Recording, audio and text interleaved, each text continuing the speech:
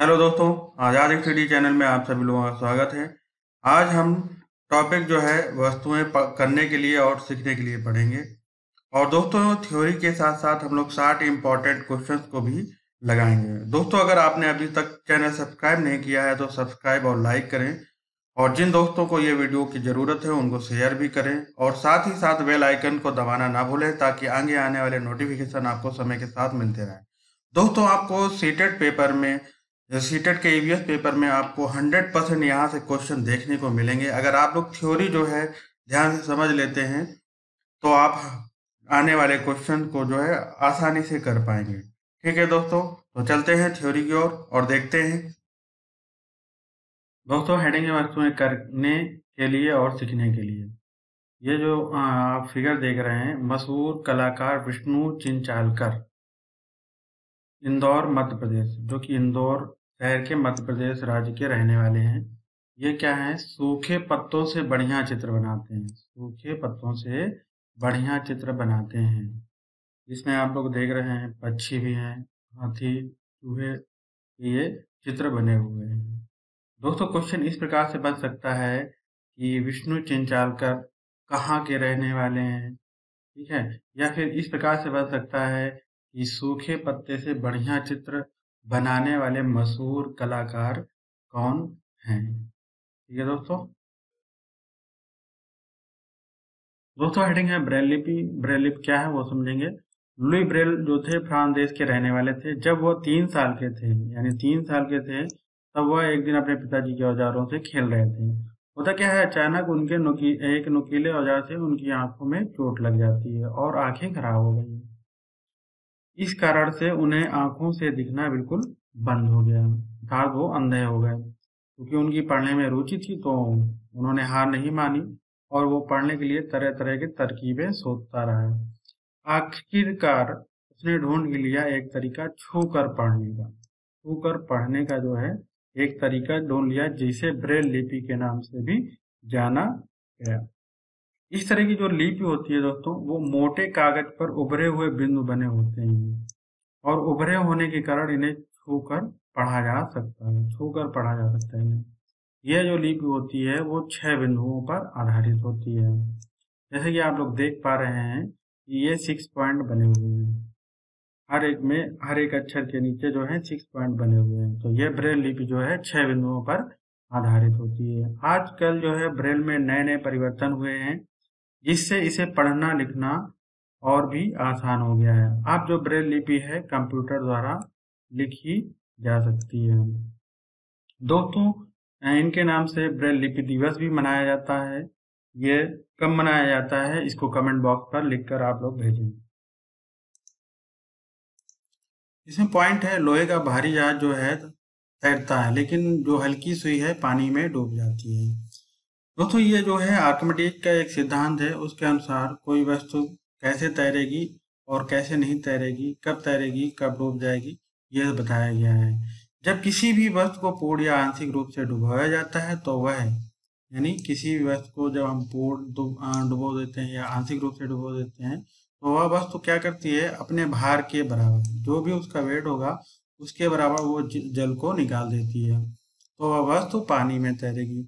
अगर अपने भार के बराबर जल को निकालेगी तो वो तैरेगी, अगर नहीं विस्थापित करती है जल को तो वो पानी में डूब जाएगी। वही कारण है सेम डिक्टो इसमें कि जहाज़ क्या होता है, द्वारा हटाया गया पानी का भार जो होता है, वो जहाज़ के बराबर होता है।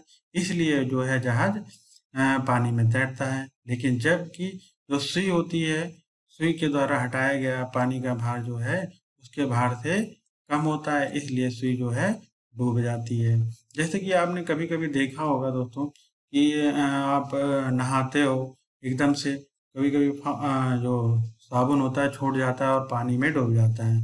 तो वो भी यही आर्कमिडीज का सिद्धांत होता है कि जब पानी में साबुन डूब जाता है तो वो अपने भार के बराबर जल को विस्थापित नहीं कर पाता, यानी हटा नहीं पाता, इसलिए वो डूब जाता है। दोस्तों हेडिंग है, मृत सागर। वैसे तो सभी सागरों के पानी में नमक होता है, लेकिन मृत सागर जो है, दुनिया का सबसे नमकीन सागर है। दुनिया का सबसे नमकीन सागर जो है, मृत सागर है। इतना नमकीन है कि एक लीटर पानी में 300 ग्राम नमक होता है। और इसको अगर चटते हैं तो इसका स्वाद बहुत ही कड़वा होता है। मृत सागर में हम ऐसे तैर सकते हैं, जैसे आराम से लेटे हों। दोस्तों ऐसा इसलिए होता है क्योंकि जो खारे जल का जो घनत्व होता है, वो साधारण जल के घनत्व से कम होता है। इसलिए इसमें जो है, मनुष्य जो है, आराम से तैरता रहता है। ठीक है दोस्तों?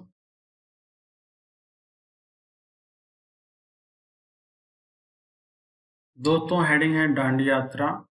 डांडी यात्रा ये जो घटना है 1930 ईस्वी की है। और भारत की आज़ादी से पहले की ये घटना है। भारत जब हमारा देश, जो भारत है, वो आज़ाद नहीं हुआ था, तब की ये घटना है। अंग्रेज़ों ने जो है, आम लोगों को नमक बनाने से रोक लगा दी और ऊपर से नमक बनाने पर रोक तो लगाई ही लगाई और ऊपर से इस पर टैक्स भी लगा दिया, टैक्स लगा दिया। और कानून, इस कानून से लोग जो है, अपने घर में इस्तेमाल के लिए जो है, नमक नहीं बना सकते थे। और साधारण जीवन में नमक जैसी चीज़ के बिना गुजारा कैसे हो सकता था? लोगों को मजबूरी में क्या होता था? दुकानों से महँगा नमक खरीदना पड़ता था। हम्म इस बात से लोग बहुत नाराज़ थे। बहुत उनके अंदर आक्रोश भरा हुआ था।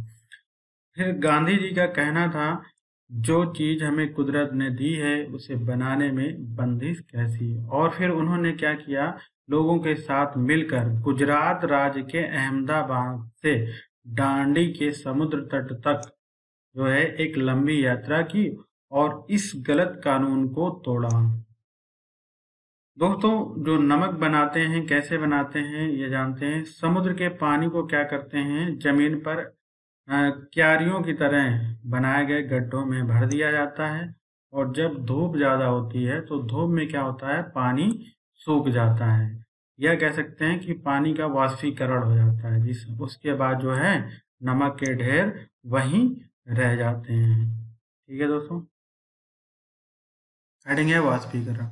जल यात्राओं का वाष्प में परिवर्तन जो होता है, वो वाष्पीकरण कहलाता है। जल का वाष्पीकरण कब अधिक होता है, उसको हम पॉइंट वाइज समझेंगे। पहला है पॉइंट अधिक ताप हो, यानी जब टेम्परेचर जब अधिक होता है तब जल का वाष्पीकरण जो है अधिक होगा।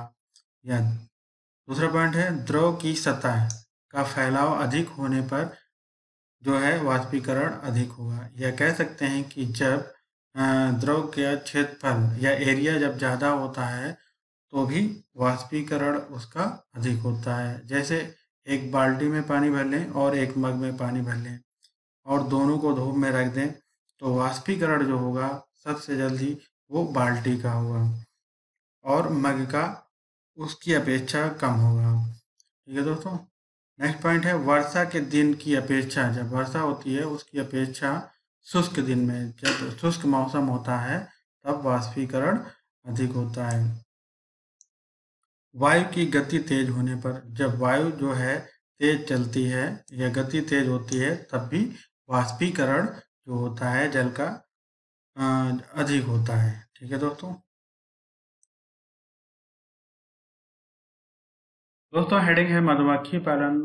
यह एक सच्ची कहानी है अनीता कुशवाहा की, जो बड़े संघर्ष करने के बाद उसको पढ़ाई करने का मौका मिलता है। और ये एक चमकता सितारा या गर्ल स्टार के नाम से जानी जाती हैं। चमकते सितारे उन साधारण लड़कियों की असाधारण कहानियाँ हैं, जिन्होंने स्कूल जाकर अपनी ज़िंदगी बदल दी अनीता कुशवाहा जो है, वो मुजफ्फरपुर ज़िले की मुजफ्फरपुर ज़िले एक जिला है जो बोचाहा गाँव में रहती हैं और ये जो जिला है, वो बिहार में है। इनके पिताजी और माताजी और दो छोटे भाई हैं। ये कॉलेज में पढ़ती हैं और स्कूल के बच्चों को भी पढ़ाती हैं और इनका जो काम है, वो मधुमक्खी पालने का काम है। दोस्तों हेडिंग है स्कूल से मधुमक्खी पालन। इनके इलाके में बहुत से सारे जो हैं लीची के पेड़ हैं। या कह सकते हैं कि बिहार राज्य में सबसे अधिक जो है लीची के पेड़ पाए जाते हैं। और जो लीची के जो फूल है, मधुमक्खियों को अच्छे लगते हैं। इसलिए यहाँ पे मधुमक्खियों को पालकर शहद बनाने का जो काम होता है, वो किया जाता है। इन्होंने भी सोचा कि भाई मधुमक्खी का काम किया जाए। और फिर इन्होंने सरकारी कोर्स में भाग लिया। और ये सरकारी कोर्स में भाग लेने वाली अकेली लड़की थी, जिनको ट्रेनिंग के दौरान मालूम पड़ा कि अक्टूबर से दिसंबर तक का जो समय होता है, मधुमक्खियों के अंडे देने का समय होता है अक्टूबर से दिसंबर तक। दोस्तों, इसका स्क्रीनशॉट ले लीजिएगा। यहाँ से क्वेश्चन कई बार पुटअप हुआ है। मधुमक्खी पालन शुरू करने का सबसे अच्छा समय यही होता है। ये दो बार क्वेश्चन यहाँ से रिपीट हुआ है कि कौन सा समय जो है मधुमक्खी पालन का सबसे अच्छा समय होता है तो अक्टूबर से दिसंबर तक। ठीक है दोस्तों? पॉइंट है दोस्तों, मीठा घोल बनाने के लिए, यानी मधुमक्खियों के लिए जो मीठा घोल बनाने के लिए चीनी की ज़रूरत होती है और छत्तों को, यानी मधुमक्खी के छत्तों को साफ़ करने के लिए मेडिसिन, यानी दवाइयों की ज़रूरत होती है। इसमें क्या होता है दोस्तों कि हर छत्ते में एक रानी मक्खी होती है। मधुमक्खी भी जो छत्ता होता है उसमें एक रानी मक्खी होती है जो अंडे देती है यानी उसका काम सिर्फ़ होता है अंडे देने का। छत्ते में कुछ कुछ नर मक्खी हो, भी होते हैं। छत्ते में बहुत सारी काम करने वाली मक्खियाँ होती हैं। यानी जो ज़्यादा काम करती हैं वो मक्खियाँ होती हैं। ये दिन भर काम करती हैं। शहद के लिए फूलों का रस ढूंढती हैं। हम्म, जब किसी मक्खी को रस मिल जाता है हाँ तो वह एक तरह का डांस करने लगती है, नाचने लगती है। जब कोई चीज़ सक्सेस मिल जाती है तो जैसे हम लोग नाचने लगते हैं, या हम लोग सरकारी नौकरी मिल गई टेट यूपी टेट पास करके तो कितना अच्छा लगता है। वैसे इनको भी जो है, मक्खी को जब रस मिल जाता है तो एक तरह का नाच करती हैं हैं? उस, उससे क्या होता है, दूसरी मक्खियों को पता चल जाता है कि रस कहाँ है। वे रस से क्या बनाती हैं? शहद बनाती हैं। छत्ता बनाने का काम भी इन्हीं का होता है। मधुमक्खियों का ही छत्ता बनाने का काम होता है और बच्चों को पालना भी। हम्म, कितने ज़िम्मेदारी होती है इन लोगों के पास। ये ना हो तो ना छत्ता बने और ना ही शहद इकट्ठा हो। शहद के बिना छत्ते की जो सारी मधुमक्खियाँ हो जाती हैं वो भूखी ही रह जाती हैं और नर जो हैं वो मक्खी नर मक्खी जो है छत्ते के लिए कुछ खास काम नहीं करते। हैं यानी आराम से बैठे रहते हैं। ठीक है दोस्तों? तो इस पॉइंट को ध्यान रखना कि जब किसी भी मधुमक्खी को शहद मिल जाता है तो क्या करती है? एक तरह का खास नाच नृत्य करती है, जिससे दूसरी मक्खियों को पता चल जाता है। दोस्तों, इसका स्क्रीनशॉट ले लीजिएगा। ये इम्पोर्टेंट पॉइंट है। पॉइंट है दोस्तों, उत्तरांचल में पहाड़ों के बीच में एक ऐसी जगह है जहाँ फूल ही फूल होते हैं। यह फूलों की घाटी कहलाती है। उत्तरांचल या उत्तराखंड की बात की जा रही है दोस्तों, जहाँ पहाड़ों के बीच फूल ही फूल होते हैं। इन्हें फूलों की घाटी कहा जाता है या वैली ऑफ़ फ्लावर के नाम से भी जाना जाता है। कर्णम मल्लेश्वरी कर्णम मल्लेश्वरी जो है, एक वेट लिफ्टर है। वेट लिफ्टर हैं और ये दोस्तों जो हैं, वो आंध्र प्रदेश की रहने वाली हैं। इनके पापा जो हैं, यानी फादर पुलिस में हवलदार हैं। ये बारह साल की जब थी, तभी से ये वज़न उठाने का अभ्यास करने लगी थी। और अब वे जो हैं, एक बार में एक सौ तीस किलोग्राम तक का वज़न जो है, उठा लेती हैं। यानी ये कह सकती हैं कि एक कुंटल तीस किलोग्राम जो है, का वज़न उठा लेती हैं। कर्णम ने भारत के बाहर जो है, उनतीस मेडल जीते हैं। और इनकी चार बहनें भी जो हैं रोज वज़न उठाने का अभ्यास करती हैं। दोस्तों, ये ध्यान रखिएगा कि ये जो कर्ण मल्लेश्वरी हैं, वो आंध्र प्रदेश राज्य की रहने वाली हैं। हम्म और ये बारह साल की जब थी, तभी से वो वज़न उठाना इन्होंने चालू कर दिया था और 130 किलोग्राम का वज़न उठा लेती हैं। दोस्तों, ये पॉइंट इम्पोर्टेंट है और यहाँ से कई बार क्वेश्चन बने हुए हैं। तो इसका स्क्रीन शॉट ले लीजिए। क्योंकि पेपर के दृष्टि से ये बहुत महत्वपूर्ण है। ठीक है दोस्तों दोस्तों पॉइंट है। यहाँ दिखाए गए डिज़ाइन को मधुबनी कहते हैं। मधुबनी यह चित्रकला जो है, बहुत पुरानी है। यानी मधुबनी जो चित्रकला है, वो बहुत पुरानी चित्रकला है। ये मधुबनी चित्रकला के नाम से जानी जाती है, क्योंकि बिहार में, बिहार राज्य में जो है मधुबनी नाम का जो है एक जिला है। इस कारण ये जो है मधुबनी नाम से जानी जाती है। ये त्योहारों, यानी त्यौहार जब कोई हो और खुशी हो, यानी खुशी के मौके पर वहाँ के घर की दीवारों, जो घर की दीवारें होती हैं वहाँ पर और आँगन में इस तरह के जो हैं चित्र बनाए जाते हैं। कहाँ पर घर की दीवारों और आँगन में इस तरह के चित्र बनाए जाते हैं। यह चित्र जो है, पीसे हुए चावल के घोल में, यानी चावल को पीस लिया जाता है और उसका घोल बनाया जाता है। उसमें रंग मिला दिया जाता है। रंग मिलाकर बनाए जाते हैं। ठीक है दोस्तों, ये रंग भी खास तरह के होते हैं इन्हें बनाने के लिए। नील, हल्दी, फूल, पेड़ के रंग जो हैं, इनका इस्तेमाल किया जाता है। ये जो चित्र होते हैं, इसमें इंसान होते हैं, जानवर, पेड़, फूल, पक्षी और मछलियाँ आदि जो हैं, अन्य कई जीव जंतु जो हैं, के साथ इसमें बनाया जाता है। इसमें क्वेश्चन पूछ लेता है, जो मधुबनी जो है चित्रकला जो है, वो कहाँ की है? तो ऑप्शन में ये आपको मिल जाएगा, बिहार राज्य की है, या और कोई ऑप्शन दे देगा, इसमें चार ऑप्शन दिए होते हैं, इसे क्वेश्चन पुट अप कर लेते हैं। या पूछ लेते हैं, जो मधुबनी जो चित्रकला है, वो कैसे बनाई जाती है? या पिसे हुए चावल के घोल में रंग मिलाकर बनाए जाते हैं। दोस्तों, ये कई बार क्वेश्चन यहाँ से भी आए हुए हैं तो इसका भी स्क्रीनशॉट ले लीजिए आप। दोस्तों पॉइंट है उत्तर प्रदेश। उत्तर प्रदेश का जो कन्नौज जिला है, वो इत्र के लिए मशहूर है। किसके लिए मशहूर है? इत्र के लिए मशहूर है। यहाँ पर पास के इलाकों में ट्रकों से भरकर फूल लाए जाते हैं। फिर इनसे जो है इत्र, गुलाब जल और केवड़ा तैयार किया जाता है। यानी कन्नौज जिलों का जो ज़िला है वो इत्र के लिए प्रसिद्ध है। या इत्रों का शहर जो है कन्नौज जिला को कहा जाता है।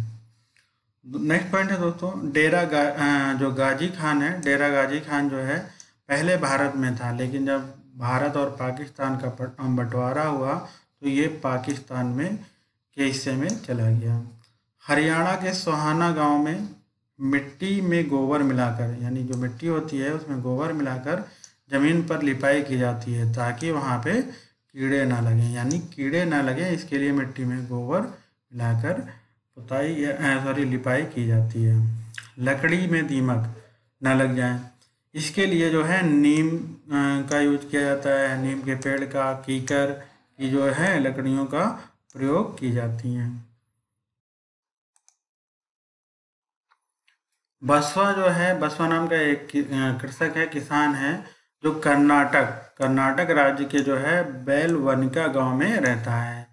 बसवा के इलाके में तो ऊटी ऊटी जो है लाइक हल जो होता है, हल की तरह, खेत की मिट्टी को जो है, नरम करते हैं, यानी खूटी से जो है, खेत की मिट्टी को नरम करते हैं। यहाँ पे जो खेती का हुनर होता है, कि जो खेत में प्याज प्याज के जो बीज होते हैं, उनको बो बोने के लिए, बैल के माध्यम से कुरिगे कुरिगे जो हल बोलते हैं, को खींचते जाएँगे और जो है, इसके पीछे पीछे जो है, बीज डालते जाएँगे। यानी जहाँ पे बैल जब कुरी को खींचते हैं, वहाँ पे जगह मिलती जाती है। वहाँ पे क्या करते हैं, बीज डालते जाते हैं प्याज के। ठीक है दोस्तों? और इलगे, इलिगे नाम का शब्द है, जो कर्नाटक की भाषा में कर्नाटक राज्य की जो भाषा में इलगे बोलते हैं, इस टाइप के इंस्ट्रूमेंट जो आपको दिखाई दे रहा है यहाँ पे, की मदद से, इसमें क्या होता है, प्याज के पौधों से अलग कर लिए जाते हैं। जब पौधे प्याज के उगाते हैं, पूरा परिपक्व हो जाते हैं तो उनको इलगे के माध्यम से अलग कर लिया जाता है।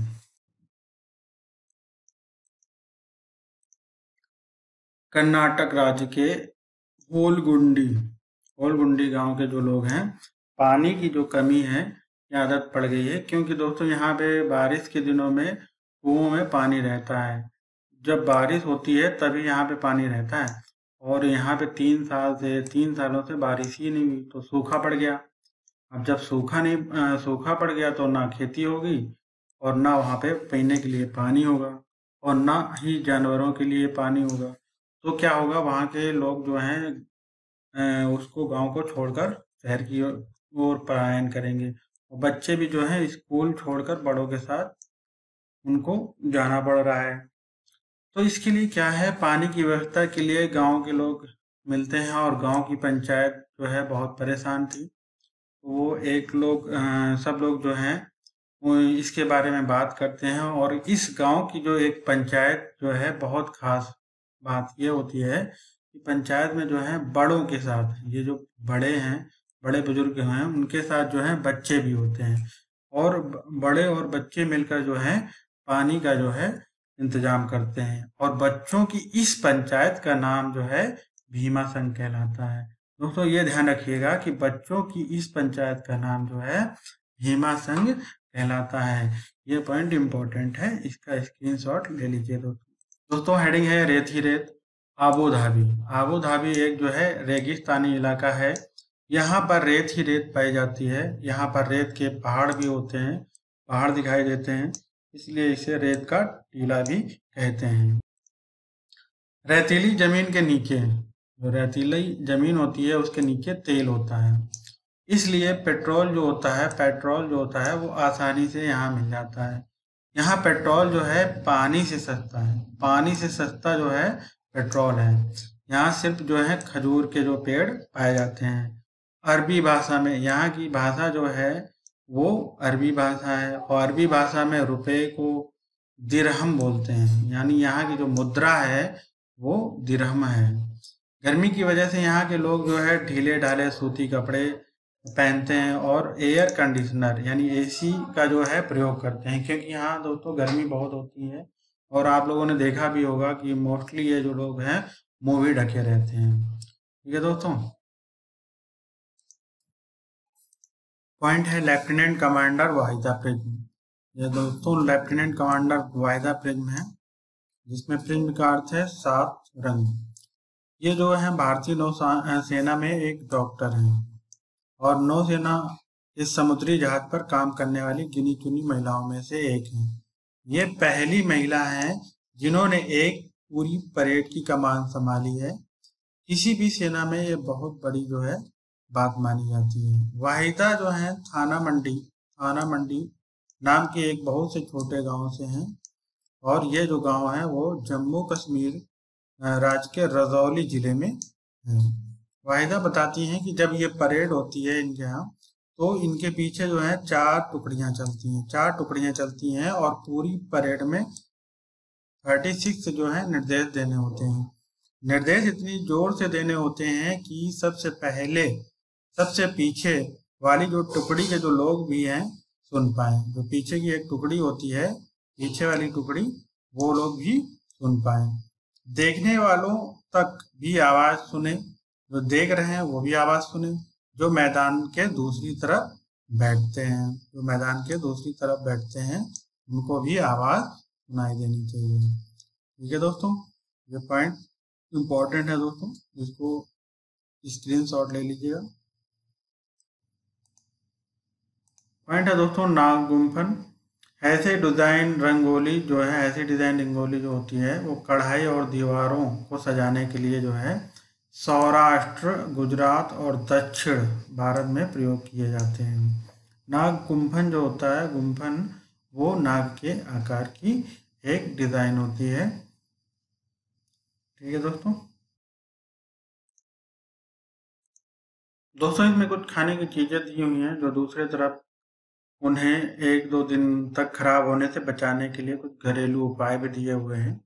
देखते हैं इसको। ये चीज़ें हैं और दूसरी तरफ़ घरेलू उपाय हैं। दूध दूध को दोस्तों हम जो लोग होता है तो उबाल कर रखते हैं, ताकि क्या हो, दूध खराब ना हो या दूध हमारा जो फटे ना। पके हुए चावल, पके हुए चावल को हम लोग क्या करते हैं, एक कटोरे में डालकर पानी के बर्तन में रखते हैं, ताकि जो चावल में है, स्मेल ना आए। हरा धनिया हरा धनिया को गीले कपड़ कपड़े में लपेट कर रखते हैं, ताकि वो सूखे नहीं। प्याज लहसुन खुले में रखते हैं ताकि इनको नमी से बचाया जा सके।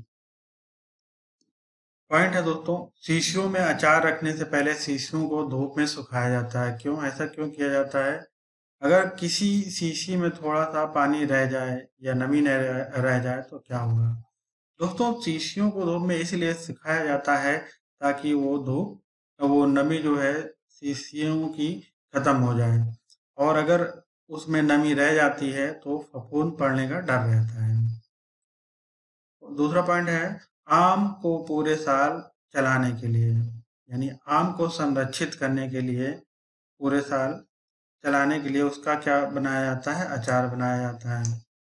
आम पापड़, जिसको मामली तांड्रा बोलते हैं, चटनी, यानी चटनी में बना सकते हैं, टॉफी, रस, ये जो है दोस्तों, एक खाद्य संरक्षण का उदाहरण है। जिनके माध्यम से हम क्या करते हैं किसी भी चीज़ को बनाकर महीनों या सालों तक रख सकते हैं। दोस्तों हेडिंग है अल बिरूनी की नज़र से। ये हज़ार साल से भी ज़्यादा साल पहले एक यात्री जो है भारत आए थे। जिनका नाम जो अल बिरूनी था। अल बिरूनी जिस देश से आए थे, आजकल हम जो लोग हैं वो उज्बेकिस्तान कहते हैं। अल बिरूनी ने बहुत ही बारीकी से चीज़ों और जगहों, यानी जो चीज़ थी, वस्तुएँ थी और प्लेस थे, उनको देखा और उनके बारे में इन्होंने लिखा। खास तौर से वे जो उन्हें अपने देश से अलग लगी, जो उनके देश में नहीं थी, हैं? और उनके बारे में इन्होंने डिस्क्रिप्शन किया, बताया। अलबरूनी ने क्या किया? उस समय के तालाबों के बारे में लिखा। किसके बारे में लिखा? तालाबों के बारे में अलबिरूनी ने लिखा। कुछ पंक्तियाँ हैं दी हुई हैं। बताया गया इसमें। यहाँ के लोग जो हैं, तालाब बनाने में तो माहिर हैं, इन्होंने ये लिखा। अगर हमारे देश के लोग इन्हें देखेंगे तो हैरान ही रह जाएँगे। बहुत बड़े बड़े भारी पत्थरों के लोहे, यानी बड़े बड़े भारी पत्थर हैं, पत्थरों के लोहे के कुंडों, लोहे के कुंडों और सरियों से जोड़कर तालाब के चारों तरफ़ जो है, चबूतरे बनाए जाते हैं। इन चबूतरों के बीच में क्या है? ऊपर से नीचे जाती हुई सीढ़ियाँ हैं। जो ऊपर से नीचे सीढ़ियाँ हैं, वो लंबी कतारें होती हैं। और लोगों को उतरने और चढ़ने के लिए जो रास्ते हैं, वो भी अलग है। यानी पानी भरने जाना है तो जाने के लिए अलग है और वहाँ से ऊपर आने के लिए अलग रास्ता मिलेगा। यहाँ कभी भीड़ लगने से कोई परेशानी नहीं होती है। ये अलबरूनी ने बताया। यानी तालाबों के बारे में उन्होंने बताया। और उसकी बनावट कैसी है? कितना मतलब आसान है चढ़ना और उतरना? ये भी बताया और बताया कि भीड़ भी वहाँ पे नहीं लगती और कोई परेशानी भी नहीं होती है। दोस्तों ये टिकट का वाक्य है। यह जो टिकट है 1973 में छपी थी जब उनके जन्म के हज़ार साल पूरे हुए थे। दोस्तों पॉइंट है बूंद बूंद की कीमत। राजस्थान में जैसलमेर एक राजस्थान रा, जो राज्य है उसमें जैसलमेर के अलावा जो है बहुत से ऐसे इलाके हैं जहाँ साल में बस जो है दस बारह दिन ही बारिश होती है। यहाँ की नदियों में भी साल में कोई कई महीने जो है पानी नहीं रहता है। यानी जैसलमेर को छोड़ दिया जाए तो यहाँ के जो बहुत इलाके हैं, वहाँ पे सिर्फ़ दस बारह दिन ही बारिश का पानी रहता है। ठीक है दोस्तों, इसको ध्यान रखिएगा, ये इम्पोर्टेंट पॉइंट है, यहाँ से भी क्वेश्चन बने हुए हैं। स्विट्जरलैंड में स्विट्जरलैंड की बात की जा रही है जो वेलक्रो वेलक्रो का जो आइडिया आया है ना कैसे आया? यहाँ जो घटना है 1948 की है जो जॉर्ज मेस्टल क्या थे अपने कुत्ते के साथ वो एक दिन घूमने गए और उन्होंने पाया कि उन दोनों पर बीज चिपके हुए हैं। हम्म, जब वो वहाँ से लौटे तो उन दोनों पर बीज चिपके हुए हैं कुत्ते पर और उन पर। तो इन बीजों को उन्होंने अपने कपड़ों पर चिपका कर देखा। वह हैरान रह गए और झट से एक माइक्रोस्कोप उन्होंने निकाल लिया। बीजों को बारीकी से देखने के लिए बीजों में छोटे छोटे हुक थे। इनकी मदद से क्या हुआ कि बीज जो है कपड़े के रेशों पर अटक जाते थे। ये जो बीज थे, बीज कपड़े के रेशों में अटक जाते थे हुक की वजह से। ये देखकर मैस्ट्रल को आइडिया आया और उनके मन में जो है वेलक्रो बनाने का विचार उत्पन्न हो गया। वेलक्रो से दोनों सतह चिपक जाती हैं और खुलने पर चर चर की आवाज़ होती है। और हम लोग भी जो है दोस्तों, जैसे बैग में लगा होता है ना, बड़ी मज़ा आती है हम लोगों को। बार बार बंद करते हैं, खोलते हैं ना? और इसमें देखिए, जैसे बस्ते पर कपड़े, जूते के पट्टे आदि में इसका इस्तेमाल देखा जाता है। तो ये ध्यान रखिएगा कि जो स्विट्जरलैंड में वेलक्रो का जो आइडिया जो आया वो कब आया? वो 1948 में किसके मन में आया? जॉर्ज मेस्टर के मन में आया। ये पॉइंट दोस्तों ध्यान रखिएगा। दोस्तों पॉइंट है तरुण भारत संघ। तरुण भारत संघ नाम की एक संस्था है जिनको दड़की माई ने बनाया है। दोस्तों क्वेश्चन यहाँ से भी पूछा गया है। इम्पोर्टेंट पॉइंट है। इसको स्क्रीनशॉट ले लीजिएगा। ये जो है दड़की माई है, राजस्थान के जो अलवर ज़िले के एक गाँव में रहती हैं। इस गाँव की औरतों का जो पूरा समय होता है, वो घर के कामों और जानवरों की देखभाल में चला जाता है। कभी कभी तो जानवरों के लिए कुओं से पानी खींचने में पूरी रात लग जाती थी। जब गर्मियों में कुएँ भी सूख जाते थे तो गाँव छोड़ना पड़ता था। दड़की माई ने क्या किया, पहल की और लोगों ने क्या किया, संस्था के साथ मिलकर तालाब बना लिया। यानी दड़की माई ने जब पहल किया कि भाई ऐसा नहीं है, सब लोग जो है सूखा पड़ जाता है, लोग छोड़ के चले जाते हैं हैं? तो ऐसा किया जाए कि भैया एक तालाब बना लिया जाए।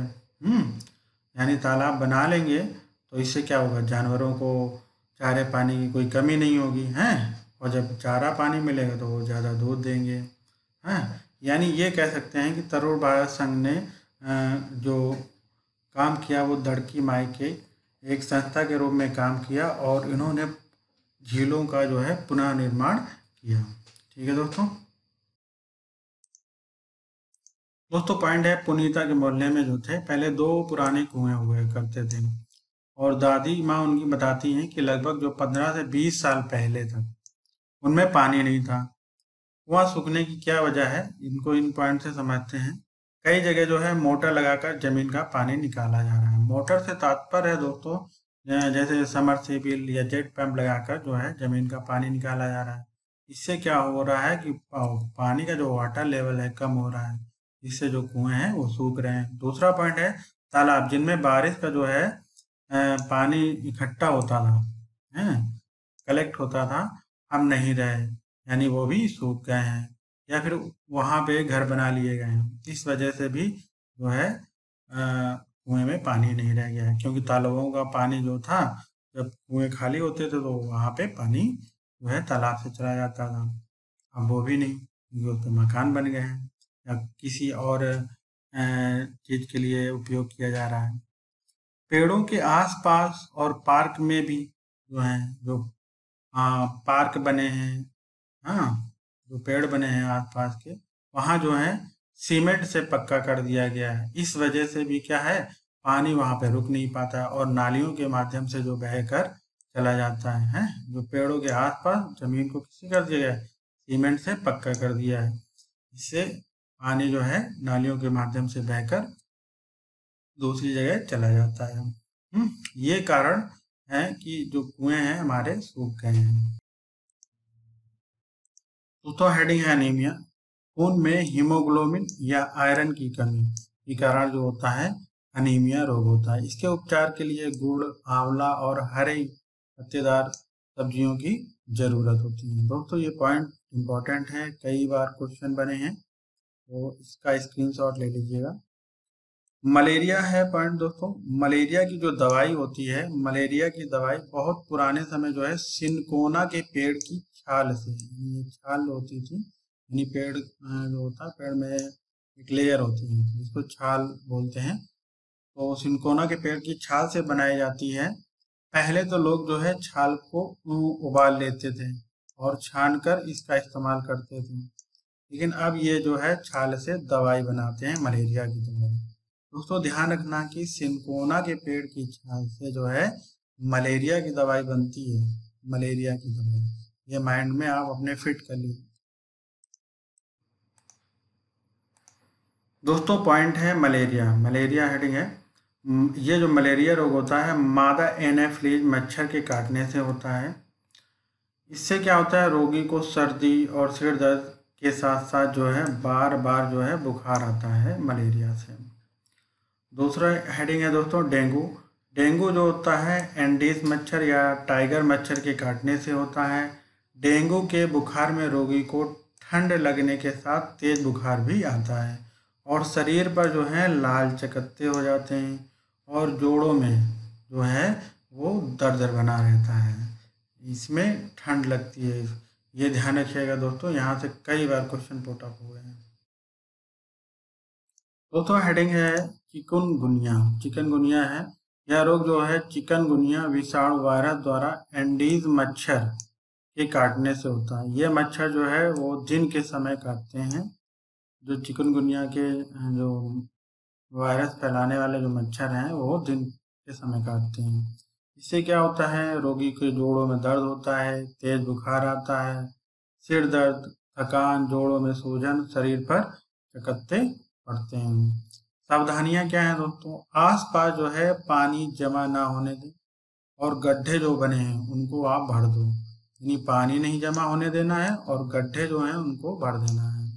पानी के जो बर्तन हैं, टंकी हैं हैं, कूलर है, उनको साफ़ रखें और हर हफ़्ते उनको सुखाना है। तालाबों में मछलियाँ छोड़ दें ताकि वे क्या है, मच्छर के लार्वे को खा लें।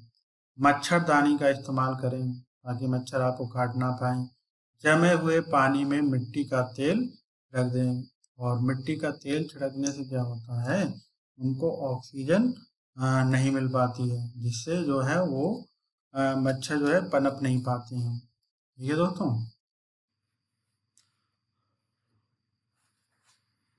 दोस्तों पॉइंट है मच्छर के पेट की कहानी, वैज्ञानिक की जुबानी।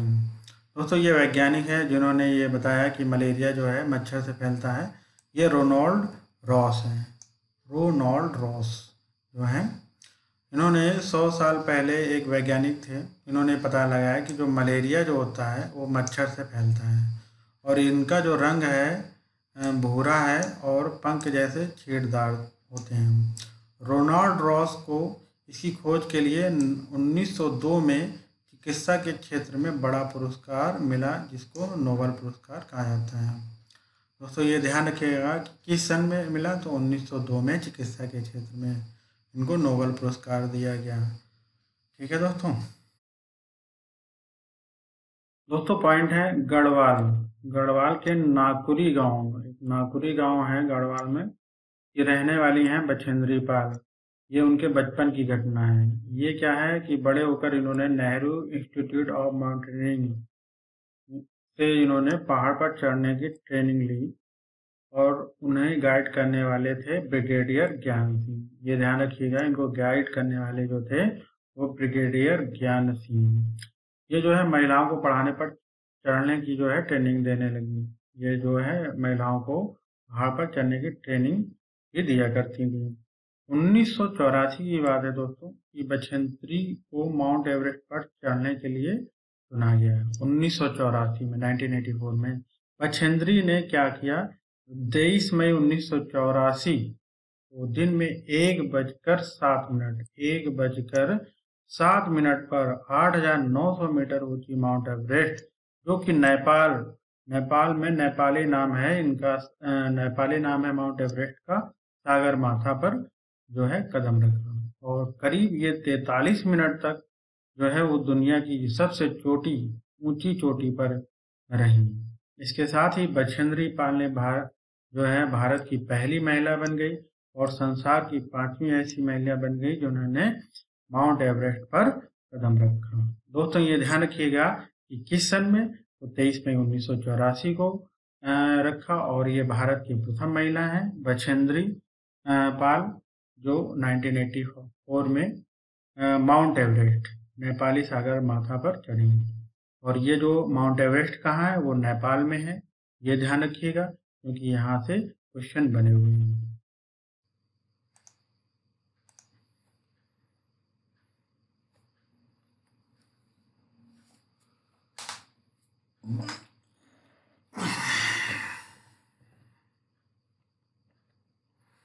दोस्तों हेडिंग है Nehru institute of mountaineering Uttarkashi.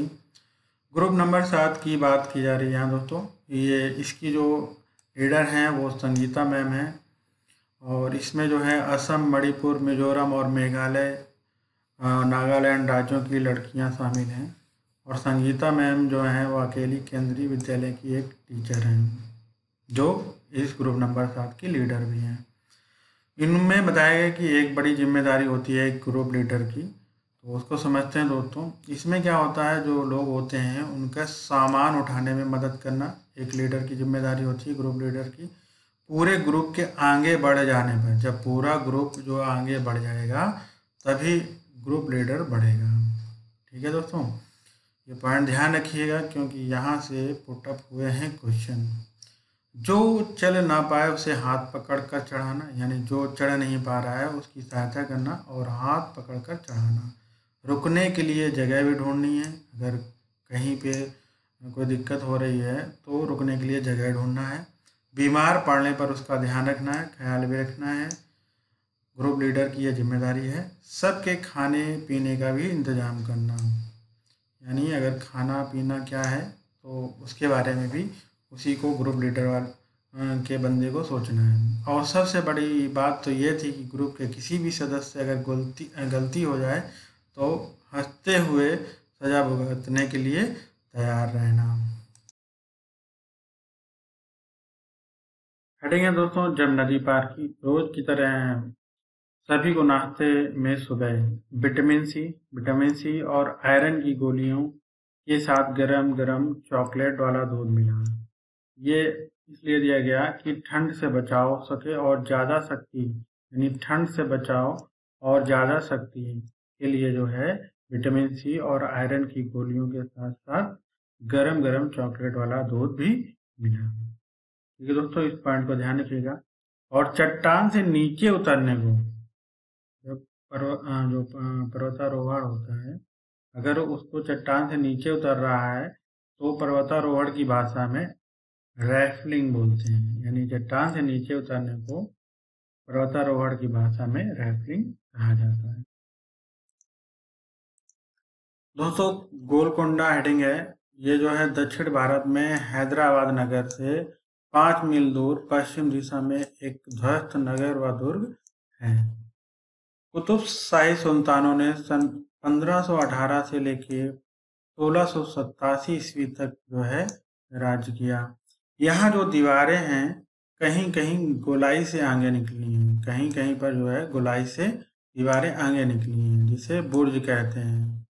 बुर्ज दीवार से जो है ज़्यादा ऊँचे हैं, जो दीवारें बनी हैं, वो उनसे ज़्यादा ऊँचे हैं बुर्ज इस किले की जो बाहरी दीवारों में सतासी बुर्ज हैं। एटी सेवन बुर्ज हैं, जो मोटी दीवारें, लंबा चौड़ा गेट भी इसमें लगा हुआ है। और दोस्तों ये ध्यान रखिएगा कि मूसी नदी जो है, हैदराबाद दुर्ग के दक्षिण में बहती है। मूसी नदी जो है, हैदराबाद में बहती है यह दुर्ग के दक्षिण दिशा में बहती है। ठीक है दोस्तों? दोस्तों हेडिंग है, पता करो। श्रीधर ने किले में जो दो देखी, वह कांसे की बनी थी? कांसे की बनी थी तो ये ध्यान रखिएगा दोस्तों। कांसे की जो कोई चीज़ देखते हो तो कैसे बनती है और किस प्रकार से बनती है, वो बताया गया है।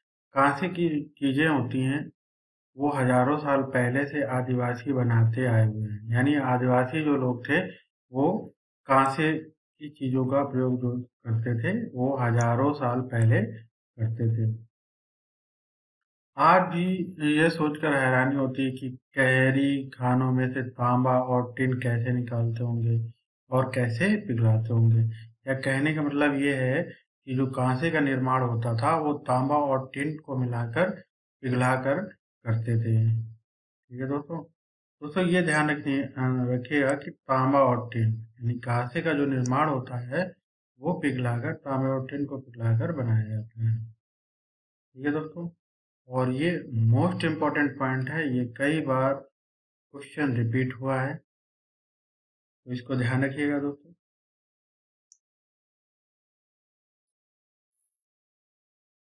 दोस्तों, ये सुनीता विलियम्स की कहानी है। सुनीता विलियम्स जो है, पृथ्वी से जो 360 किलोमीटर दूर स्पेस से भी यानी अंतरिक्ष पे जाती हैं और वहाँ बताती हैं कि जो पृथ्वी है, समुद्र है, वो कैसे दिखते हैं।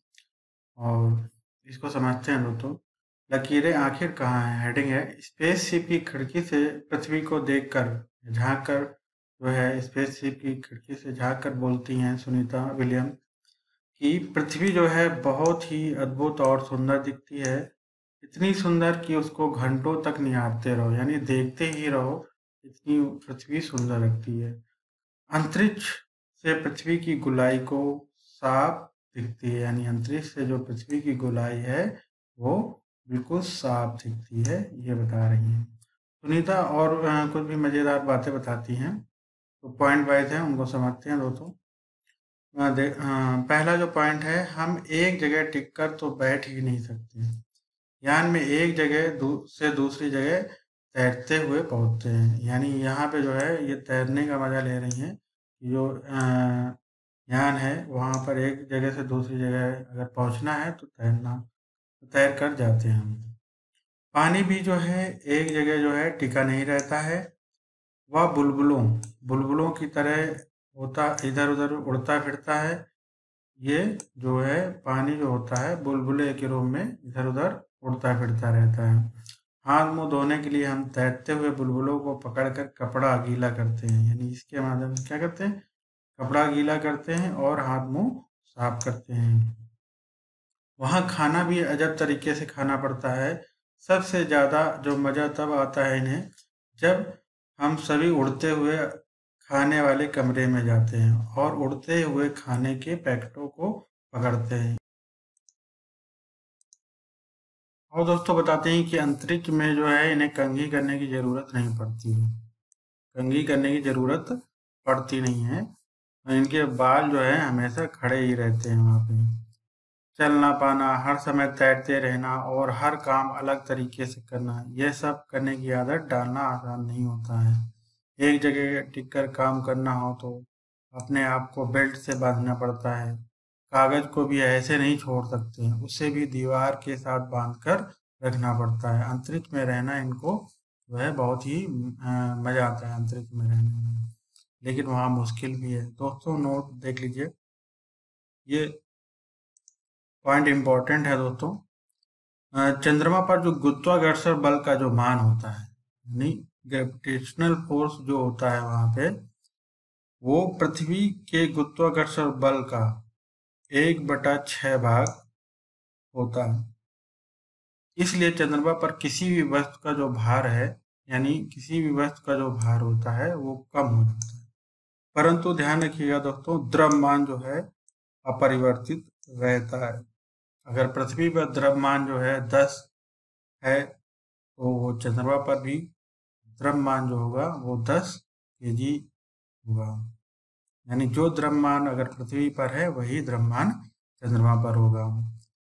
बस ये ध्यान रखिएगा कि जब गुरुत्वाकर्षण बल है, वो एक बटा छः हो जाता है। जैसे मान लीजिए कि पृथ्वी पर साठ न्यूटन गुरुत्वाकर्षण बल है, अगर उसको चंद्रमा पर ले जाएँगे तो वहाँ पर उसका साठ का एक बटा छठवा भाग बचेगा।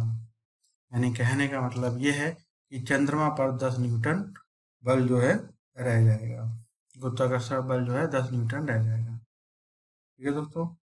इसमें नेक्स्ट पॉइंट है भारत और अर्जेंटीना। यानी भारत देश और अर्जेंटीना देश के बारे में बताया जा रहा है कि जो लोग होते हैं, वो सापेक्ष जो एक दूसरे के उल्टे होते हैं। अगर हम लोग देखें अर्जेंटीना के लोगों को तो वो उल्टे दिखेंगे और वो लोग देखें तो हम लोग उल्टे दिखते हैं और ये भी जो है एक आश्चर्यजनक बात होती दोस्तों हेडिंग है ठंडा रेगिस्तान। ठंडा रेगिस्तान, लेह अजब अनूठा, था, लेह जो है, अजब अनूठा है। यह इलाका जो है सूखा, समतल और ठंडा रेगिस्तान है। तो ठंडा रेगिस्तान बोलते हैं। लद्दाख में बहुत ही कम बारिश होती है और बर्फ़ से ढके पहाड़ और सूखा, ठंडा मैदान है। दोस्तों, ठंडा रेगिस्तान जो है, लद्दाख को कहा गया है। लद्दाख जो है, एक ठंडा रेगिस्तान है, जहाँ पे बर्फ़ से ढके पहाड़ और सूखा ठंडा मैदान है। झूले झूले यानी यानी झूले का अर्थ यहाँ दोस्तों जो है, लद्दाख में जो है, ले लद्दाख में स्वागत का मतलब होता है। झूले का जो मतलब होता है, वो स्वागत से लिया गया है। ये ध्यान रखिएगा कि लद्दाख में जो झूले को क्या कहते हैं तो झूले को स्वागत कहते हैं। यहाँ चांगबा की भाषा में, ये चांगबा जनजात की है, उसकी भाषा में चांगथांग का जो मतलब होता है, ऐसी जगह जहाँ बहुत कम लोग रहते हैं। ऐसी जगह जहाँ बहुत कम लोग रहते हैं, उसे चांगथांग कहते हैं चांगपा की भाषा में। ठीक है दोस्तों? दोस्तों, हटेंगे दुनिया में मशहूर पश्मीना। जो पश्मीना शॉल होती है, पश्मीना शॉल, वो छः स्वेटर, यानी जो हम लोग स्वेटर पहनते हैं, उनके छः स्वेटरों के बराबर गर्मी होती है पश्मीना शॉल में। इतनी गर्म और मोटी बिल्कुल नहीं, यानी ये शॉल जो होती है, बहुत ही हल्की होती है, मोटी नहीं होती। ये पश्मीना बना पश्मीना बनता है पहाड़ी बकरियों से। ये जो पश्मीना होता है, पश्मीना शॉल जो होता है, वो पहाड़ी बकरियों की एक खास नस्ल, एक खास नस्ल से बनाई जाती है जो लगभग पाँच हज़ार मीटर की ऊंचाई पर रह सकती हैं। यहाँ जो है सर्दियों का जो तापमान है, ज़ीरो डिग्री सेंटीग्रेड से भी बहुत कम होता है। यानी माइनस फोर्टी डिग्री सेंटीग्रेड तक चला जाता है। इतनी सर्दी से बचने के लिए बकरियों के शरीर पर जो होते हैं, बहुत ही बारीक और नरम बाल उग आते हैं, जो गर्मियों में ये, गर्मियाँ आते आते जो है, बाल झड़ जाते हैं। और ये बाल इतने पतले होते हैं कि बकरी के छह बाल इतने पतले होते हैं कि बकरी के छह बाल मिलाकर हमारे सर के जो एक बाल की मोटाई के बराबर होते हैं। इसलिए पश्मीना सालों को मशीनों द्वारा नहीं बुना जा सकता। है इनकी बुनाई जो है हाथों से करने के लिए खास बुनकर होते हैं। एक बुनकर जो है दोस्तों 250 घंटे में जो होता है इसकी बुनाई करता है पश्मीना सालों साल की। तब जाकर एक कहीं साधारण पश्मीना साल तैयार होती है। दोस्तों, ये ध्यान रखिएगा कि पश्मीना साल जो है कि कितने स्वेटरों की बराबर गर्मी देती है? तो छः स्वेटर की बराबर गर्मी देती है और कितने घंटे में बनती है? तो 250 घंटे में बनती है। ठीक है दोस्तों? ये पॉइंट ध्यान रखिएगा और इसका स्क्रीनशॉट भी ले लीजिए। दोस्तों, ये कहानी जो है, एक सच्ची कहानी है। सूरमणि एक चमकता सितारा, एक गर्ल स्टार के नाम से जानी गई। चमकते सितारे जो है, उन साधारण लड़कियों की असाधारण कहानियाँ हैं, जिन्होंने स्कूल जाकर अपनी ज़िंदगी बदल ली। बचपन से ही सूरमणि को जंगल से बहुत लगाव था। इनको इतना लगाव था कि स्कूल जो था, एक नॉर्मल से रास्ते से होकर जाता था, लेकिन फिर भी यह जंगल में जाती थी और बच्चों को भी ले जाती थी, वहाँ के जानवर पशु पक्षी पेड़ पौधों के बारे में बताती थी। सूरमणि का जो सफ़र है दोस्तों विशुनपुर गाँव के स्कूल से देखते ही सूरमणि का जो मन है, वो खिल उठा। स्कूल घने जंगल के पास जो था, यानी जंगल से इतना लगाव था तो इनका मन तो खिल उठेगा ही दोस्तों, है? बिशुनपुर गाँव में एक स्कूल में इन्होंने दाखिला लिया था पढ़ने के लिए, जो कि घने जंगल के पास था। स्कूल में सूरमणि ने खूब मेहनत की और वहाँ से स्कॉलरशिप वजीफा लेकर इन्होंने बीए पास किया। ये एक पहली लड़की थी, पहली आदिवासी लड़की थी जिन्होंने बीए पास किया था। कॉलेज में उनकी जो पहचान है, एक वासवी दीदी से हुई, जो पत्रकार थी। सूरमणि ने इनके साथ मिलकर जो है, झारखंड जंगल बचाओ आंदोलन का प्रारंभ किया। दोस्तों, अगर पूछा जाए कि झारखंड जंगल बचाओ का आंदोलन सर्वप्रथम किसने किया तो वासवी दीदी ने। और मिलकर किसने किया तो सूरमणि और वासवी देवी ने मिलकर किया। सूरमणि का एक साथी था मिर्ची। मिर्ची जो है, तोता का नाम था। ठीक है दोस्तों, यहाँ ध्यान रखिएगा। यहाँ से क्वेश्चन पूछे गए हैं। सूरमणि का जो सपना था, वो अपने कुडुक कुडुक समाज की पहचान बनाए और आदिवासी होने पर जो उसे महसूस होता था, गर्व महसूस होता था, वह सभी गाँव वालों को भी हो। यानी एक जो प्राउड महसूस होता था उसे भी आ, सभी गाँव वाले उसके सभी गाँव वालों को भी वो गर्व महसूस हो सूरमणि का तोरंग हेडिंग है दोस्तों सूरमणि जो है जब 21 साल की थी तो उन्होंने वासवी दीदी वासवी दीदी और कई अन्य लोगों के मदद के साथ एक केंद्र खोला। उसने इस जगह का नाम रखा तोरांग तोरांग नाम रखा। कुडुक जो भाषा है, कुडुक भाषा में एक कुडुक भाषा में तोरांग का जो मतलब है, अर्थ है जंगल जंगल को बोलते हैं। जंगल को तोरांग बोलते हैं, कुडुक भाषा में। ये ध्यान रखिएगा। तोरांग में क्या है? कुडुक समाज और अन्य आदिवासियों की खास किताबों को संभाल कर रखा गया है। यानी कुडुक समाज और जो अन्य आदिवासी हैं, उनकी खास किताबों को संभाल कर रखा गया है। गाने बजाने के लिए कई चीज़ें, जैसे बांसुरी तरह तरह के ढोल भी यहाँ पे रखे गए हैं। यानी तोरांग यानी जंगल में जो है बांसुरी और तरह तरह के ढोल किताबें जो हैं इम्पोर्टेंट बुक्स वो रखी गई हैं। दोस्तों ध्यान रखिएगा यहाँ पे कि जो कुडु भाषा में तुरंग का मतलब क्या होता है अर्थ क्या होता है तो वो जंगल होता है। हम्म, और ये कुडुक जो भाषा है वो कहाँ की है तो वो झारखंड की है। ये ध्यान रखिएगा दोस्तों बहुत ही इम्पोर्टेंट पॉइंट है। हर बार क्वेश्चन यहाँ से रिपीट होते हैं। दोस्तों हेडिंग है, जंगल अधिकार कानून 2007 ये कानून जो है, आदिवासियों को जंगल पर उनका हक दिलाता है। जंगल पर, आदिवासियों को जंगल पर उनका हक दिलाता है। जो लोग जो हैं, कम से कम 25 साल से जंगल में रह रहे हैं, उनका वहाँ के जंगल और वहाँ पैदा होने वाली चीज़ों पर हक है, यानी जंगल पर हक है और जो चीज़ें वहाँ पैदा होती हैं, उस पर भी हक है। उन्हें जंगल से हटाया नहीं जाएगा। इस कानून के तहत, जंगल अधिकार कानून 2007 के तहत, जंगल बचाने का काम भी जो है, ग्राम सभा ही करेगी। दूसरा पॉइंट है दोस्तों बुधिया माई है। बुधिया माई कहती हैं कि जंगल तो हमारा साझा बैंक है। हम्म न तेरा, न मेरा।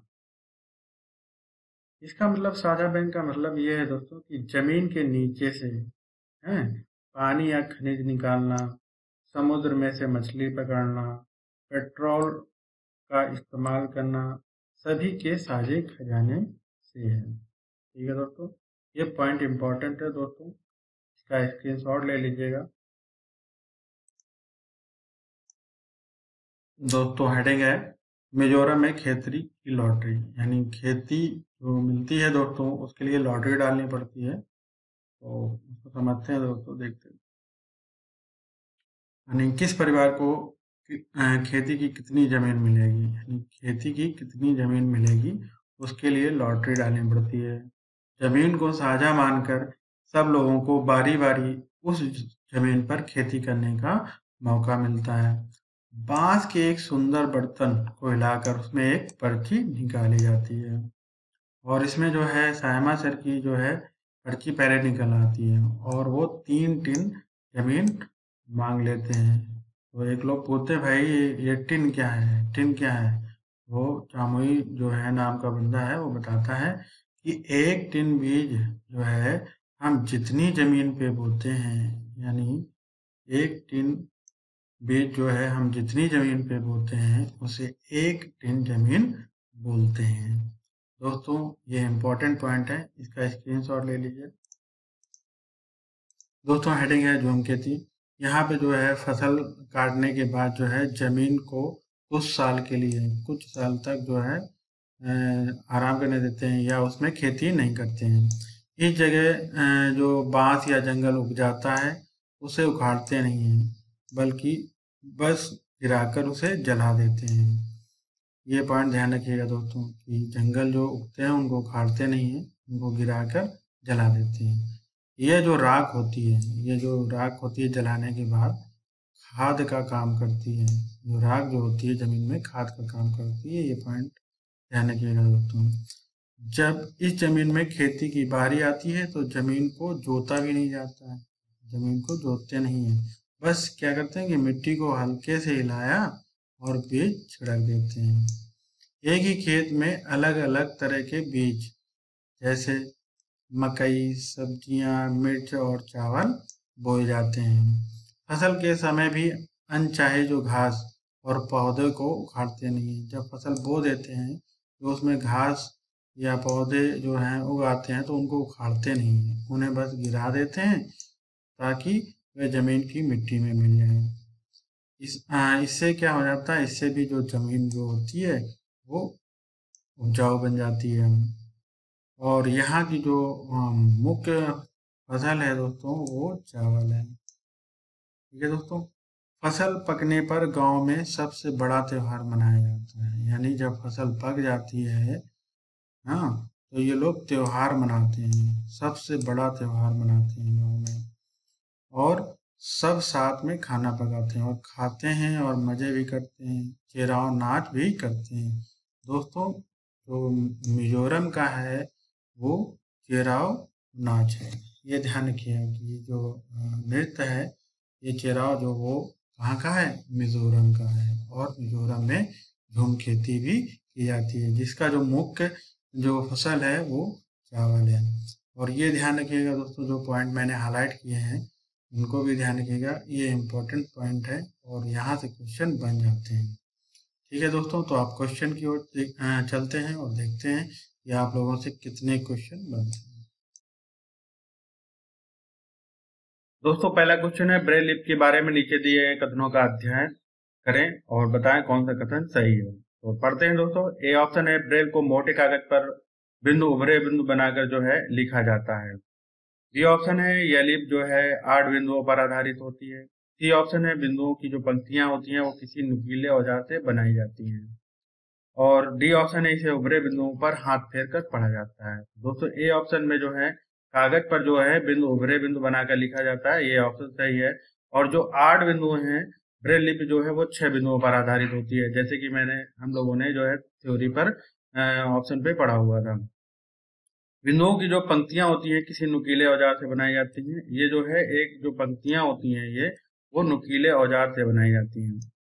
इसे उभरे बिंदुओं पर हाथ फेर कर पढ़ा जाता है यानी ए सी डी ऑप्शन जो है आ, सही होगा। तो इसका जो ऑप्शन नंबर ए है ए सी डी वो सही होगा। नेक्स्ट क्वेश्चन लेते हैं दोस्तों। दोस्तों क्वेश्चन नंबर टू है ब्रेल लिप जो है मोटे कागज़ पर उभरे हुए बिंदु बने होते हैं यह लिपि आधारित होती है। ये इसका जो ऑप्शन नंबर टू होगा, वो सही होगा। ये छह बिंदुओं पर आधारित होती है ब्रेल लिपि नेक्स्ट क्वेश्चन लेते हैं दोस्तों। क्वेश्चन नंबर थ्री है, भारत की आज़ादी से पहले महात्मा गांधी जी ने जिस दांडी समुद्र दांडी के समुद्र तट तक अपनी प्रसिद्ध यात्रा की थी, वह भारत के नीचे दिए गए किस राज्य में स्थित है? दोस्तों, इसका ऑप्शन नंबर बी सही होगा यह गुजरात राज्य में स्थित है। नेक्स्ट क्वेश्चन लेते हैं दोस्तों। दोस्तों क्वेश्चन नंबर फोर है, नींबू जो है साधारण पानी में डूब जाता है, लेकिन नमकीन पानी में तैरता नहीं है, क्यों? दोस्तों मैंने बताया था कि जो नमकीन पानी होता है, उसका घनत्व तो कम होता है और साधारण पानी का जो घनत्व होता है, वो ज़्यादा होता है। तो इसका ऑप्शन नंबर जो होगा बी बी ऑप्शन जो होगा, वो सही होगा। साधारण पानी का जो घनत्व होता है, वो नमकीन पानी के घनत्व से अधिक होता है। नेक्स्ट क्वेश्चन लेते हैं दोस्तों। दोस्तों क्वेश्चन नंबर फाइव है क्वथन उबलना या वाष्पीकरण में क्या अंतर है? ए ऑप्शन है क्वथन से जल की अवस्था बदल जाती है, जबकि वाष्पीकरण में नहीं। बी ऑप्शन है, वाष्पीकरण किसी भी तापमान पर हो सकता है, जबकि क्वथन नहीं। दोस्तों बी ऑप्शन सही होगा, वाष्पीकरण जो होता है, वो किसी भी तापमान पर हो सकता है, लेकिन जो क्वथन होता है, वो उबलना एक निश्चित टेम्परेचर पर होता है। ठीक है दोस्तों? ये बी ऑप्शन सही होगा। नेक्स्ट क्वेश्चन लेते हैं दोस्तों। क्वेश्चन नंबर सिक्स है, वाष्पीकरण की प्रक्रिया में निम्नलिखित में किस स्थिति में सबसे धीमी होगी? ये ऑप्शन है, सतह क्षेत्र बढ़ता है, लेकिन तापमान घटता है। दोस्तों, जब सतह का क्षेत्र पर ज़्यादा होता है तो वाष्पीकरण प्रक्रिया उसमें तेज होती है। बी ऑप्शन जो है, सतह क्षेत्र बढ़ता है, लेकिन तापमान भी बढ़ता है, यानी सतह क्षेत्र भी बढ़ रहा है और तापमान भी बढ़ रहा है तो इसमें वाष्पीकरण और अधिक होगा। सी ऑप्शन है, सतह क्षेत्र और तापमान में अगर दोनों में कमी होती है। दोस्तों, ये सी ऑप्शन सही होगा। अगर सतह का क्षेत्र पर यानी सरफेस जो है, यानी एरिया है, वो कम हो और तापमान यानी दोनों चीज़ें जब कम होंगी तो वाष्पीकरण जो है सबसे धीमा होगा। ठीक है दोस्तों नेक्स्ट क्वेश्चन लेते हैं। क्वेश्चन नंबर सेवन है दोस्तों, रेत और नमक। यानी इन मिश्रण को अलग करना है। इनके लिए जो प्रक्रियाओं के निम्न चार क्रमों में से किसका उपयोग किया जाना चाहिए? इसका जो ऑप्शन डी है, वो सही होगा। निस्यंदन, निस्तारण वाष्पन अवसाधन निस्यंदन जो दोस्तों होता है, वो फ़िल्टर पेपर की सहायता से जो होता है अशुद्धियों को छान कर जो है निकाल जाता है। जैसे हम लोग चाय छान कर अलग करते हैं that is निस्यंदन।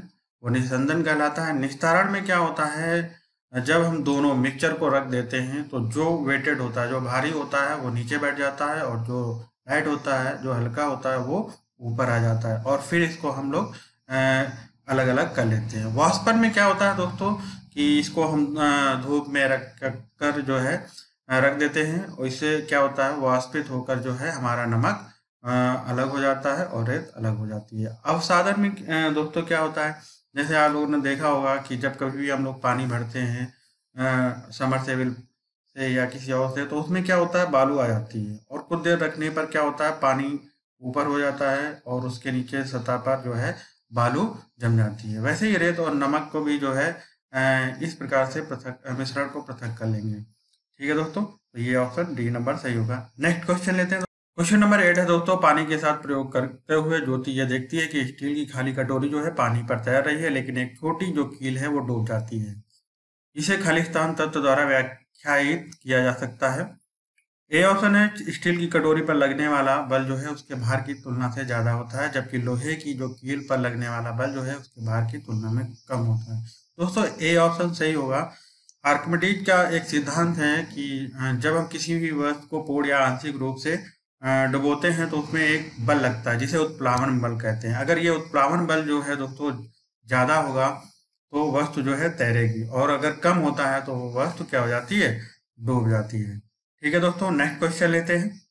Question number nine है, निम्नलिखित में से कौन अंतर्राष्ट्रीय ख्याति प्राप्त जो है वेट लिफ्टर हैं? दोस्तों वेट लिफ्टर हैं, जो भार उठाते हैं इसका ऑप्शन बीस नंबर सही होगा। कर्ण मल्लेश्वरी जो है, वो अंतरराष्ट्रीय ख्याति प्राप्त वेट लिफ्टर है। नेक्स्ट क्वेश्चन लेते हैं दोस्तों। क्वेश्चन नंबर टेन है, कर्ण मल्लेश्वरी के विषय में नीचे दिए गए कथनों पर विचार करना है और इन कथनों को देखना है और उसके बाद सही आंसर चूज़ करना है।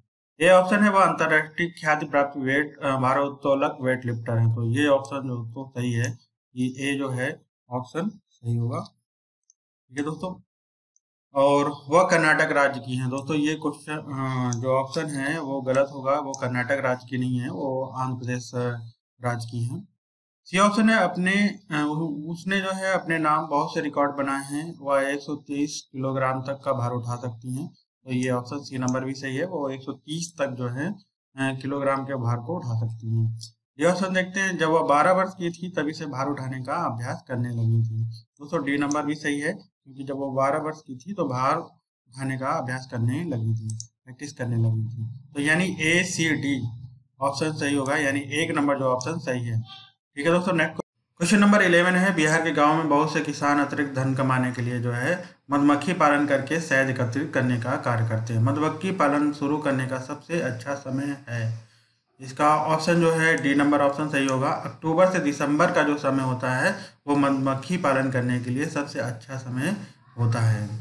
ठीक है दोस्तों नेक्स्ट क्वेश्चन दोस्तों क्वेश्चन नंबर ट्वेल्व है, मधुमक्खी पालन के विषय में सही कथन चुनिए।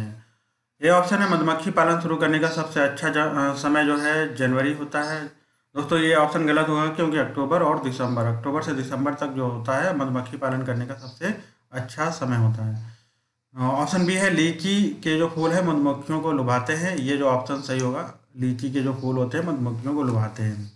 सी ऑप्शन है मधुमक्खी पालने और उनके द्वारा उत्पादित शहद का भंडारण करने के लिए बक्सों की ज़रूरत होती है। ये भी सही है दोस्तों। सी ऑप्शन भी सही है। डी ऑप्शन देखते हैं दोस्तों। मधुमक्खियों के लिए मीठा गोल बनाने के लिए चीनी खरीदी जाती है। और यानी ये जो ऑप्शन बी सी डी जो है, तीनों सही हैं। तो इसमें देखते हैं दोस्तों। ये तीसरा नंबर सही होगा B C and D option ठीक है दोस्तों नेक्स्ट क्वेश्चन लेते हैं। क्वेश्चन नंबर थर्टीन है दोस्तों, नीचे दिए गए नगरों में से किस किस एक को रेत के पहाड़ जिन्हें रेत के टीले कहा जाता है, वह कहाँ पाए जाते हैं? तो इसका ऑप्शन नंबर ए है दोस्तों।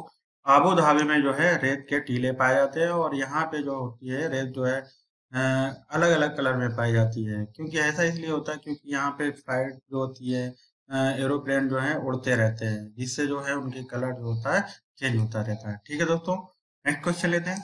दोस्तों क्वेश्चन नंबर फोर्टीन है। आबू धाबी के विषय में सही कथन चुनिए ए ऑप्शन है, ये रेगिस्तानी इलाके में है, ये सही ऑप्शन है। और बी ऑप्शन है, आबू धाबी में पानी जो है, पेट्रोल से महँगा है। ये भी दोस्तों सही है कि पेट्रोल यहाँ सस्ता है और पानी महँगा है।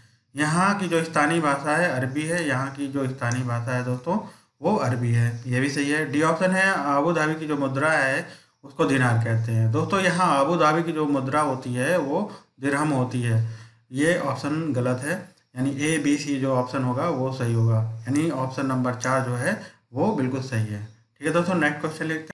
क्वेश्चन नंबर फिफ्टीन है दोस्तों, कांच के जार तथा बोतलों को उनमें अचार भरने से पहले सूर्य की धूप में अच्छी तरह से सुखाया जाता है। ऐसा क्यों किया जाता है?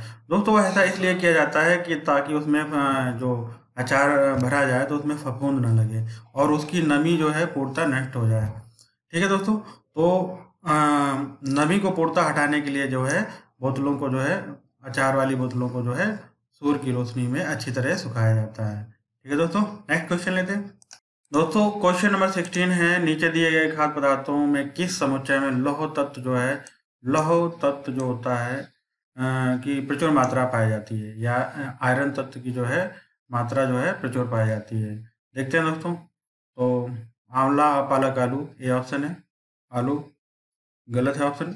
अब बी ऑप्शन देखते हैं, आंवला आलू मटर ये भी ऑप्शन गलत है। सी ऑप्शन बंद गोभी भिंडी, गुड़, ये भी ऑप्शन गलत है। डी ऑप्शन आंवला, पालक, गुड़। आंवला, पालक और गुड़ में जो है दोस्तों, वो लौह तत्व की प्रचुर मात्रा पाई जाती है। ठीक है दोस्तों नेक्स्ट दोस्तों क्वेश्चन नंबर सेवनटीन है। रीना आम पसंद करती है और वह इन्हें जाड़े के लिए संरक्षित करना चाहती है। इनमें से कौन सा तरीका जो है, संरक्षण के लिए सबसे सर्वाधिक उपयुक्त होगा? दोस्तों, आम आम से क्या बनाया जा सकता है? अचार। हाँ और आम पापड़। दोस्तों, ये डी ऑप्शन नंबर जो होगा, सही होगा। ठीक है दोस्तों next question question number eighteen है दोस्तों, निदान के बाद कोई भी डॉक्टर कोई डॉक्टर जो है रोगी को से ये कहता है कि उसके खून में हीमोग्लोबिन की कमी है। उस रोगी को आयरन की कमी है। आयरन की भी कमी है। तो उस रोगी को आयरन की कमी को पूरा करने के लिए क्या खाना चाहिए? इसका जो ऑप्शन होगा डी नंबर ऑप्शन होगा दोस्तों। आंवला, हरी पत्तेदार सब्ज़ियाँ और गुड़ खाना चाहिए। ठीक है दोस्तों? यानी आंवला खाना चाहिए और हरी पत्तेदार सब्ज़ी जैसे कि पालक और गुड़। ये जो है, आयरन की कमी को जो है, दूर करता है। ठीक है दोस्तों? नेक्स्ट क्वेश्चन लेते हैं। क्वेश्चन नंबर नाइनटीन है दोस्तों। कोई डॉक्टर जो है, एक मरीज़ को खाने के लिए कुछ दवाइयाँ लिखता है और साथ ही बताता है कि गुड़, आंवला और हरी पत्तेदार सब्ज़ियाँ जो है, ज़रूर खाने का सुझाव देता है। यह मरीज़ किस रोग से पीड़ित है। दोस्तों, ये जो है मरीज़ है, वो अनीमिया रोग से पीड़ित होती है। क्योंकि जब गुड़ आंवला और हरी पत्तेदार सब्ज़ियाँ खाने के लिए कह रहा है, यानी उसके अंदर जो है हीमोग्लोबिन की कमी है। और हीमोग्लोबिन से अनीमिया नामक एक रोग होता है। ठीक है दोस्तों नेक्स्ट क्वेश्चन लेते हैं। क्वेश्चन नंबर ट्वेंटी है दोस्तों। उस वैज्ञानिक का क्या नाम है, जिसने सर्वप्रथम मच्छर के पेट के अंदर ताक झाकी और यह सिद्ध किया कि मलेरिया जो है मच्छर से फैलता है, तथा इस अनुसंधान के लिए उसे 1902 में जो है चिकित्सा के क्षेत्र में नोबेल पुरस्कार भी दिया गया। है दोस्तों, अगर आपने थ्योरी ध्यान से सुनी होगी तो आप लोग ये क्वेश्चन आराम से कर पा रहे होंगे। इसका जो आंसर जो होगा, डी नंबर ऑप्शन होगा, रोनाल्ड रॉफ जो थे, वो ऐसे वैज्ञानिक थे जिन्होंने सर्वप्रथम बताया कि जो है मलेरिया मच्छर से फैलता है। ठीक है दोस्तों, नेक्स्ट क्वेश्चन लेते हैं। क्वेश्चन नंबर ट्वेंटी वन है दोस्तों, रजत ने अपने मित्र से कहा, मैं नहीं खेल सकता क्योंकि मुझे बुखार है। और कब कभी बुखार, सिर दर्द, आंत में पसीना आने की चक्र जो है, से गुजरता हूँ। रक्त की जाँच करने के बाद डॉक्टर ने मुझे कड़वी दवाई भी दी और रजत किस रोग से पीड़ित है। दोस्तों, जब कब कभी होता है, बुखार आता है, सिर दर्द और अंत में पसीना आए तो समझ लीजिए उसको मलेरिया के लक्षण है। ठीक है दोस्तों, नेक्स्ट क्वेश्चन लेते हैं। दोस्तों, क्वेश्चन नंबर ट्वेंटी टू है, निम्न रोगों में से वह समूह चुनिए जो मच्छरों से फैलता है। दोस्तों, मच्छरों से डेंगू, मलेरिया और चिकनगुनिया फैलता है। इसका जो ऑप्शन नंबर सी है, वो सही होगा। नेक्स्ट क्वेश्चन लेते हैं दोस्तों। दोस्तों क्वेश्चन नंबर ट्वेंटी थ्री है, उच्च ज्वर, यानी तेज बुखार के साथ जो है कप कपी जिसका उपचार जो है सिंकोना पेड़ की छाल से किया जाता है, वह है। यानी सिंकोना पेड़ की छाल से जो उपचार किया जाता है, वह मलेरिया रोग है। दोस्तों, ये जो क्वेश्चन है, हाल ही में आया हुआ है और मच्छर से रिलेटेड दोस्तों क्वेश्चन कंटिन्यू बन रहे हैं। तो ये ध्यान रखिएगा, ये इम्पोर्टेंट पॉइंट है, इसको बिल्कुल आपके माइंड में होना ही चाहिए कौन सा रोग किससे हो रहा है, किस मच्छर के काटने से हो रहा है। ठीक है दोस्तों नेक्स्ट क्वेश्चन लेते हैं। दोस्तों क्वेश्चन नंबर ट्वेंटी फोर है, निम्न में कौन से शब्द समूह आपस में निकटी रूप से संबंधित हैं? दोस्तों क्वेश्चन नंबर ट्वेंटी फोर का जो आंसर होगा, वो बी ऑप्शन सही होगा। लोह हीमोग्लोबिन, अनीमिया और आंवला दोस्तों, लोह की कमी से हीमोग्लोबिन में कमी होती है और हीमोग्लोबिन की कमी से अनीमिया नामक रोग होता है और इसका जो उपचार होता है, वो आंवला होता है। ठीक है दोस्तों नेक्स्ट क्वेश्चन लेते हैं। दोस्तों क्वेश्चन नंबर ट्वेंटी फाइव है, मीरा और दिव्या। छोटी लड़कियाँ हैं, ये मीरा जो है, समोसे, कटलेट और जो है, डबल रोटी खाना पसंद करती हैं। जबकि दिव्या नाम की जो लड़की है, वो ऐसा भोजन पसंद करती है, जिसमें लौह तत्व की कमी होती है यानी आयरन की कमी होती है। मीरा और दिव्या को कौन सी बीमारियाँ जो हो सकती हैं, क्रमशः बताइए। दोस्तों समोसा, कटलेट और डबल रोटी खाने से मोटापा बढ़ेगा और जब लौ तत्व की कमी होगी तो उससे क्या होगा? एनीमिया रोग हो जाएगा। तो इसका जो ऑप्शन नंबर बी है, वो सही होगा, मोटापा और एनीमिया नेक्स्ट क्वेश्चन लेते हैं। क्वेश्चन नंबर ट्वेंटी सिक्स है दोस्तों। अंजलि की शैली जो है, दांतों में छह से बचने के लिए जो है, चार तरीके बताती है। इनमें से कौन से तरीके सही हैं? उन तरीकों को चूज़ करना है और सही आंसर का जो है जवाब देना है। तो ए ऑप्शन है कि जो अंजलि है, वो दिन में दो बार ब्रश करें। ठीक है दोस्तों? ए जो है, सही होगा दिन में दो बार प्रेस करना चाहिए। ये ऑप्शन है इनेबल करना हो सके हो, इसके लिए वो ब्रेसलेट पहने ऐसा कोई ज़रूरी नहीं होता कि ब्रेसलेट पहनने से दांतों का क्षय जो है, वो सही हो जाता है। ठीक है ना दोस्तों? तो ये ऑप्शन जो है गलत होगा ऑप्शन सी है मिठाई, चॉकलेट और कार्बन डाइऑक्साइड जो है, युक्त पदार्थ ना ले। यानी मिठाई ना हो और चॉकलेट भी ना खाए, कार्बन डाइऑक्साइड युक्त पदार्थ भी ना ले। ये ऑप्शन सही होगा। इससे क्या होगा? जो दांतों में कीड़े लगते हैं, उससे वो बच जाएगी। डी नंबर है कि हर खाने के बाद जो है कुल्ला करे। उसे कुल्ला करना चाहिए। ठीक है दोस्तों? तो ये भी सही ऑप्शन है। ए सी टी। ए सी डी जो है ऑप्शन ये है। इसको दोस्तों इन्होंने इधर उधर कर दिया है ऑप्शन को ताकि हम लोग कंफ्यूज हो जाए। तो इसका जो ऑप्शन है, वो ए नंबर सही होगा दोस्तों। सी डी ए ठीक है दोस्तों नेक्स्ट क्वेश्चन लेते हैं। दोस्तों क्वेश्चन नंबर ट्वेंटी सेवन है। आरती एक पोस्टर पर एक बीमारी की रोकथाम से संबंधित निम्न सावधानियाँ पड़ती है। ए ऑप्शन है, अपने आसपास पानी को जमा ना होने दें। बी ऑप्शन है, पानी के बर्तनों, कूलर और टंकियों को साफ़ रखें। सी ऑप्शन है, यदि जगहों पर पानी इकट्ठा हो जाता है तो तेल का छिड़काव करें और डी ऑप्शन है, स्वयं के बचाव के लिए जाली का प्रयोग करें। दोस्तों, अगर आपने थ्योरी पढ़ी होगी सही से तो ये ऑप्शन बिल्कुल आप कर पा रहे होंगे और बिल्कुल सही करेंगे तो इसका जो ऑप्शन है, दोस्तों, फ़ोन नंबर सही होगा। डेंगू और जापानी मस्तिष्क ज्वर से बचने के लिए जो है, दोस्तों, ये सब सावधानियाँ जो है, बीमारी की रोकथाम करने के लिए बता रही हैं। ठीक है, दोस्तों next question number twenty eight है, मच्छरों के प्रजनन की रोकथाम के लिए ठहरे पानी पर तेल डालने की सलाह दी जाती है। ऐसा क्यों किया जाता है? दोस्तों, इसका डी ऑप्शन सही होगा। तेल जो है ऑक्सीजन की आपूर्ति को काट देता है, जिससे क्या होता है, मच्छरों का प्रजनन थम जाता है। ठीक है दोस्तों नेक्स्ट क्वेश्चन दोस्तों क्वेश्चन नंबर थर्टी है माउंट एवरेस्ट के बारे में सही कथन चुनिए। तो ये जम्मू और कश्मीर का भाग है, इसकी चोटी की ऊंचाई जो है, नवासी सौ मीटर है। दोस्तों, ये ऑप्शन गलत होगा। ये माउंट एवरेस्ट जो है, नेपाल का भाग है। बी ऑप्शन देखते हैं। ये नेपाल का भाग है। इसकी चोटी की जो ऊंचाई है, नवासी सौ मीटर है। यानी बी नंबर जो ऑप्शन है दोस्तों, वो बिल्कुल सही है। नेपाल का भाग है और इसकी जो ऊंचाई है, वो नवासी सौ मीटर है। ठीक है दोस्तों next question question number thirty one है माउंट एवरेस्ट एक भाग है। तो दोस्तों माउंट एवरेस्ट जो भाग है, वो नेपाल का भाग है। ठीक है? तो ऑप्शन नंबर सी सही होगा। Next question question number thirty two है, तरोड़ भारत संघ जो है, नामक समूह संबंधित है। ये ऑप्शन है, पुरानी झीलें पुनर्निर्मित करने से। पुरानी जो है झीलें पुनर्निर्मित करने से संबंधित है, तरोड़ भारत संघ, जो दड़की दाई ने जो है इसको तरुण भारत संघ समूह की स्थापना की थी, जिसका जो उद्देश्य था कि पुरानी झीलों को पुनः निर्माण किया जाए। ठीक है दोस्तों next question number thirty three है दोस्तों, नीचे दिए गए कर्तव्यों और उत्तरदायित्व का अध्ययन करके बताना है कि कौन से ऑप्शन सही है, कौन से ऑप्शन नहीं सही है। माउंटेनिंग में ग्रुप लीडर की जिम्मेदारियाँ जो है क्या क्या है? ठीक है दोस्तों, पढ़ते हैं, देखते हैं। ए ऑप्शन है, अन्य लोगों को सामान उठाने में मदद करना। हाँ इसमें जो है, अन्य लोग जो होते हैं, उनकी जो है सामान उठाने में मदद करना चाहिए। ये टीम लीडर का दायित्व होता है। ये ऑप्शन है, पूरे ग्रुप में आगे चलना ताकि ग्रुप पीछे पीछे चले। ये ऑप्शन गलत है दोस्तों। ग्रुप को आगे चलने दिया जाता है और टीम लीडर जो होता है इसमें पीछे चलता है। सी ऑप्शन है जो चल ना पाए उसको रोकने, रुकने के लिए कहना।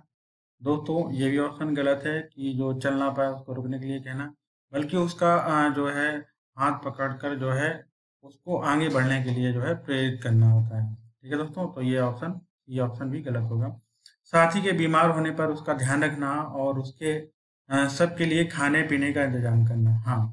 इसमें दोस्तों जो है ध्यान रखना है, साथी को अगर बीमार साथी उनका बीमार हो जाता है तो उसका ध्यान रखना पड़ता है और खाने पीने का भी इंतज़ाम करना पड़ता है, ये ऑप्शन सही है। और पाँच नंबर है रुकने और आराम करने के लिए अच्छी जगह ढूंढना, ये भी सही है दोस्तों, यानी ए, डी और फाइव। ऑप्शन नंबर जो है चार, वो सही होगा दोस्तों। अगर दोस्तों आपने थ्योरी पढ़ी होगी तो ये आपसे क्वेश्चन इजी वे में बन रहे होंगे। ठीक है दोस्तों नेक्स्ट क्वेश्चन लेते हैं। दोस्तों क्वेश्चन नंबर थर्टी फोर है। आदिवासी जो है, हज़ारों साल पहले जो है, कांसे जिसे ब्रांड भी बोलते हैं, की चीज़ें बनाते थे, आए हुए हैं। आज भी है हमारे घरों में कांसे का उपयोग होता है। कांसे के विषय में निम्नलिखित सही कथन है। दोस्तों, कांसा जो होता है, वो तांबे यानी कॉपर और टिन से मिलकर बनाए जाते हैं। हम्म तो ये डी ऑप्शन सही होगा। ये तांबे और टिन का जो है मिश्रण है। ठीक है दोस्तों नेक्स्ट क्वेश्चन लेते क्वेश्चन नंबर थर्टी फाइव है, ग्रामीण क्षेत्रों में गाय के गोबरों से झोपड़ी की दीवारों और फर्शों को लीपा जाता है उन्हें। ऑप्शन है ए चिकना और साफ़ बनाने के लिए बी है खुरदरा बनाना, बनाकर घसड़ बनाने के लिए, और सी जो है फर्श को प्राकृतिक रंग देने के लिए, और डी जो है कीटों को दूर रखने के लिए। दोस्तों डी नंबर ऑप्शन सही होगा, कीटों को दूर रखने के लिए गाय के गोबर से झोपड़ी की दीवारों और फर्शों को लीपा जाता है। ठीक है दोस्तों नेक्स्ट क्वेश्चन लेते हैं। क्वेश्चन नंबर थर्टी सिक्स है दोस्तों, कहाँ से ब्रांड दो धातुओं का मिश्रण होते हैं? ये धातुएँ दोस्तों, क्या होती है? कॉपर यानी जिसे तांबा बोलते हैं, और टिन यानी बी नंबर ऑप्शन सही होगा दोस्तों, ये क्वेश्चन कई बार आया हुआ है। इसको ध्यान रखिएगा कि कांसा जो होता है, तांबा और टिन से मिलकर बना होता है। ठीक है दोस्तों, चाहे क्वेश्चन किसी भी प्रकार से बन, बने, आप बिल्कुल इसको सही से करके आएँगे। ठीक है? क्वेश्चन नंबर थर्टी सेवन है दोस्तों कांसे यानी ब्रांज के बारे में सही कथन क्या है? कांसा जो है, लोहे, चांदी और स्वर्ण की बात, ये तथ्य गलत है दोस्तों, ये तथ्य नहीं है कांसा लोहे, चांदी और स्वर्ण की तरह। बी ऑप्शन है, कांसे को तांबा और टिन से पिघलाकर तैयार किया जाता है, ये सही है दोस्तों। सी नंबर है, कांसा अत्यंत मज़बूत और इसका जो है जो तोप तथा मूर्ति यानी बुद्ध बनाने के लिए काम किया जाता है, ये भी ऑप्शन सही है दोस्तों। डी ऑप्शन है, कांसे जो बर्तन एल्मोनियम के बर्तनों की तुलना में हल्के और अधिक मज़बूत होते हैं, यानी एल्मोनियम के जो बर्तन होते हैं वो की तुलना में हल्के होते हैं और अधिक मज़बूत होते हैं। दोस्तों एलमोनियम के बर्तन की तुलना में हल्के नहीं होते हैं ये भारी होते हैं तो ये डी ऑप्शन गलत होगा। बी और सी जो ऑप्शन है, वो सही होगा ठीक है दोस्तों, नेक्स्ट क्वेश्चन लेते हैं।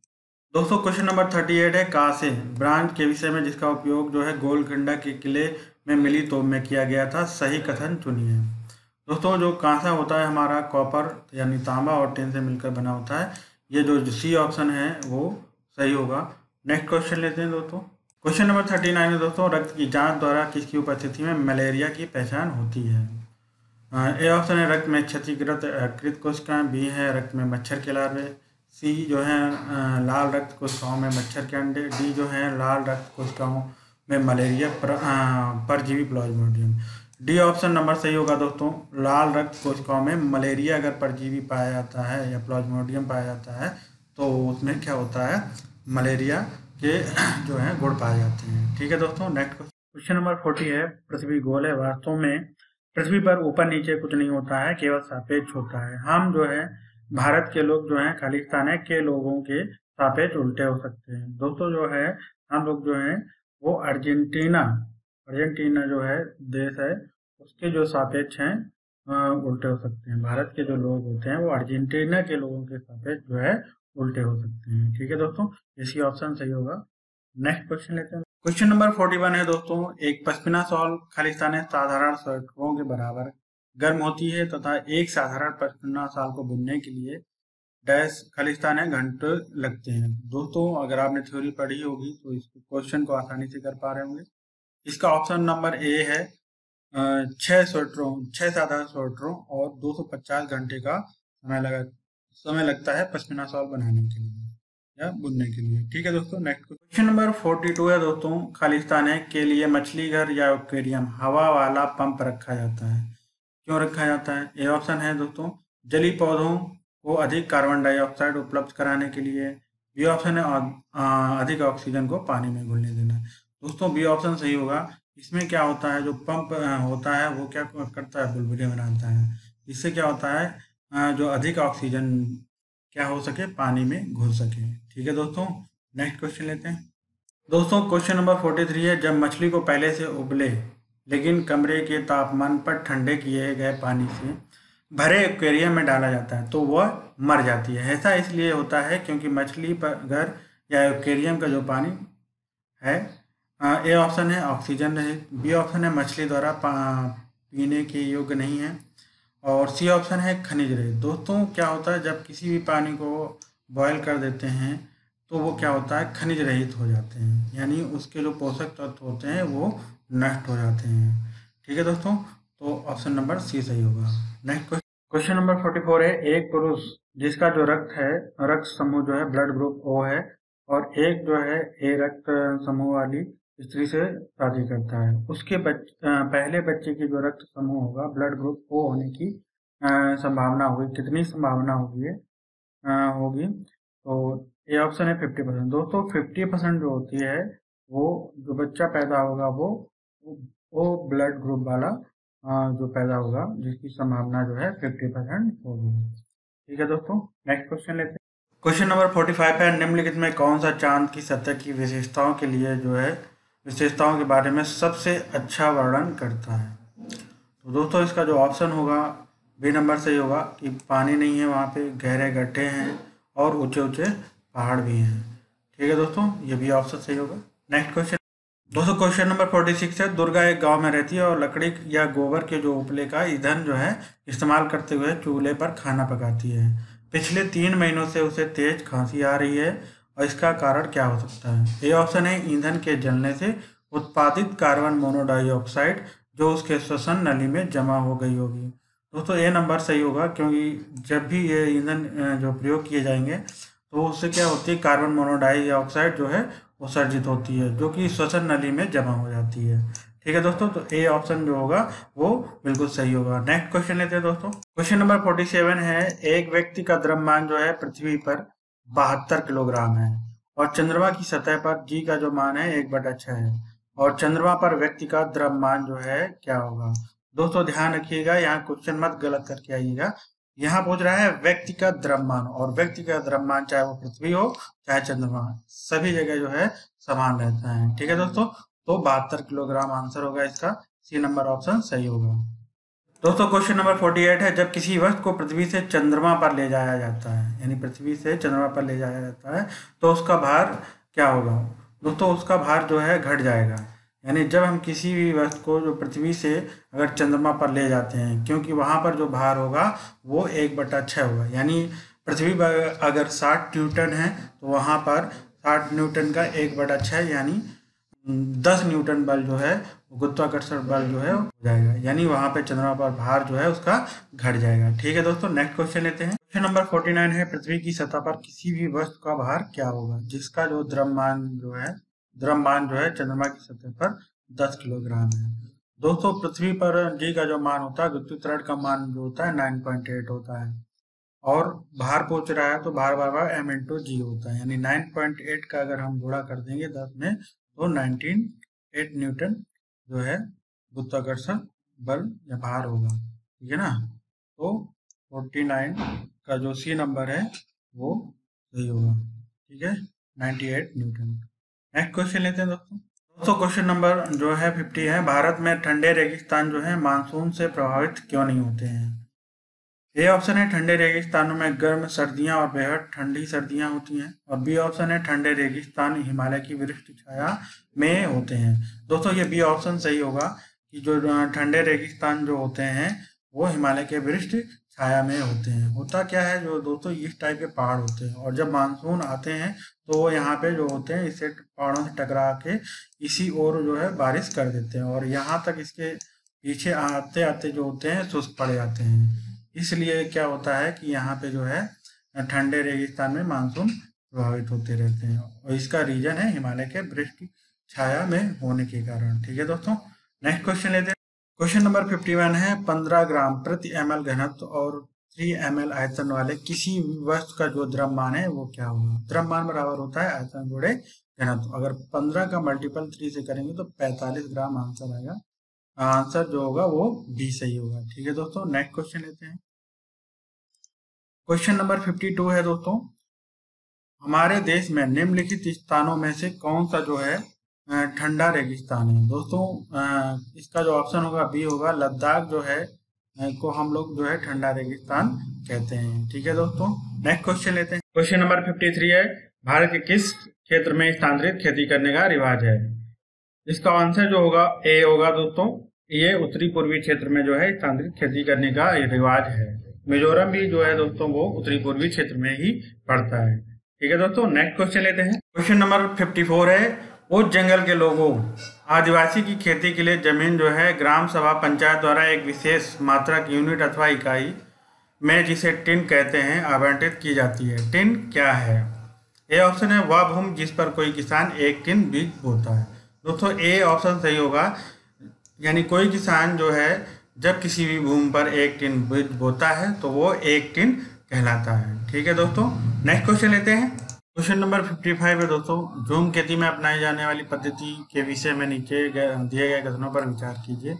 ए ऑप्शन है, एक फ़सल प्राप्त करने के बाद ज़मीन को कुछ साल तक ऐसे ही छोड़ देते हैं। तो ए ऑप्शन सही होगा। बी ऑप्शन देखते हैं। बाँस या खरपतवार जंगल उगाता है तो उसे उखाड़कर जला देते हैं। उखाड़ते नहीं है दोस्तों, बल्कि उसको गिराकर जला देते हैं। खरपतवार जंगल आदि को जलाने पर प्राप्त राख को खाद की तरह काम में लाते हैं। दोस्तों, यह राख जो होता है, ज़मीन में खाद का काम करती है। ना कि इसका जो है खाद की तरह प्रयोग में लाया जाता है। ये ऑप्शन जो है, गलत होगा इसका ऑप्शन डी ऑप्शन है, जब इस ज़मीन में खेती की बारी आती है तो बीज छिड़कने से पहले इसे गहरा जोता जाता है। दोस्तों तो इसको गहरा नहीं जोता जाता है, बल्कि जो क्या किया जाता है, इसको हलाकर, यानी हिलाकर जो है, मिट्टी को हल्के से हिलाकर इसमें बीज छिड़क देते हैं। ठीक है ना दोस्तों? तो ए ऑप्शन सही होगा, यानी फोर नंबर ऑप्शन सही है ओनली ए ठीक है दोस्तों? नेक्स्ट क्वेश्चन लेते क्वेश्चन नंबर 56 है। नीचे दिए गए खेती के विवरण में पढ़िए। ढंग का जो की पहचान कीजिए कि ये जो फ़सल है, किस प्रकार की है। एक फ़सल को काटने के बाद खेत को कुछ वर्षों के लिए खाली छोड़ दिया जाता है। उसमें कुछ भी नहीं उगाया जाता है। इस भूमि में बाँस या अन्य खरपतवार जो भी कुछ उगाते हैं, उन्हें उखाड़ा नहीं जाता है। काट कर जला दिया जाता है। यह राख जो है, भूमि को उर्वर बनाती है। जब यह भूमि जो है, खेत के लिए तैयार हो जाती है, उसे हल्का सा खोदा जाता है। भूमि को जोता नहीं जाता है। उस पर बीज छिड़क दिए जाते हैं। तो ये जो ऑप्शन होगा दोस्तों सी नंबर सही होगा। ये जो है, झूम खेती कहलाती है। ठीक है ना दोस्तों? नेक्स्ट क्वेश्चन है तो क्वेश्चन नंबर 57 है। मिजोरम में की जाने वाली झूम खेती के विषय में निम्नलिखित कथनों का अध्ययन करना है और बताना है कौन सा ऑप्शन इनमें से सही है। तो देखते हैं दोस्तों। ये ऑप्शन है, एक फ़सल को काटने के बाद भूमि को कुछ वर्षों तक खुला छोड़ देते हैं। ये ऑप्शन जो है दोस्तों सही है। बी ऑप्शन देखते हैं, इस भूमि पर उगने वाले बाँस और खरपतवार को काट कर जला दिया जाता है।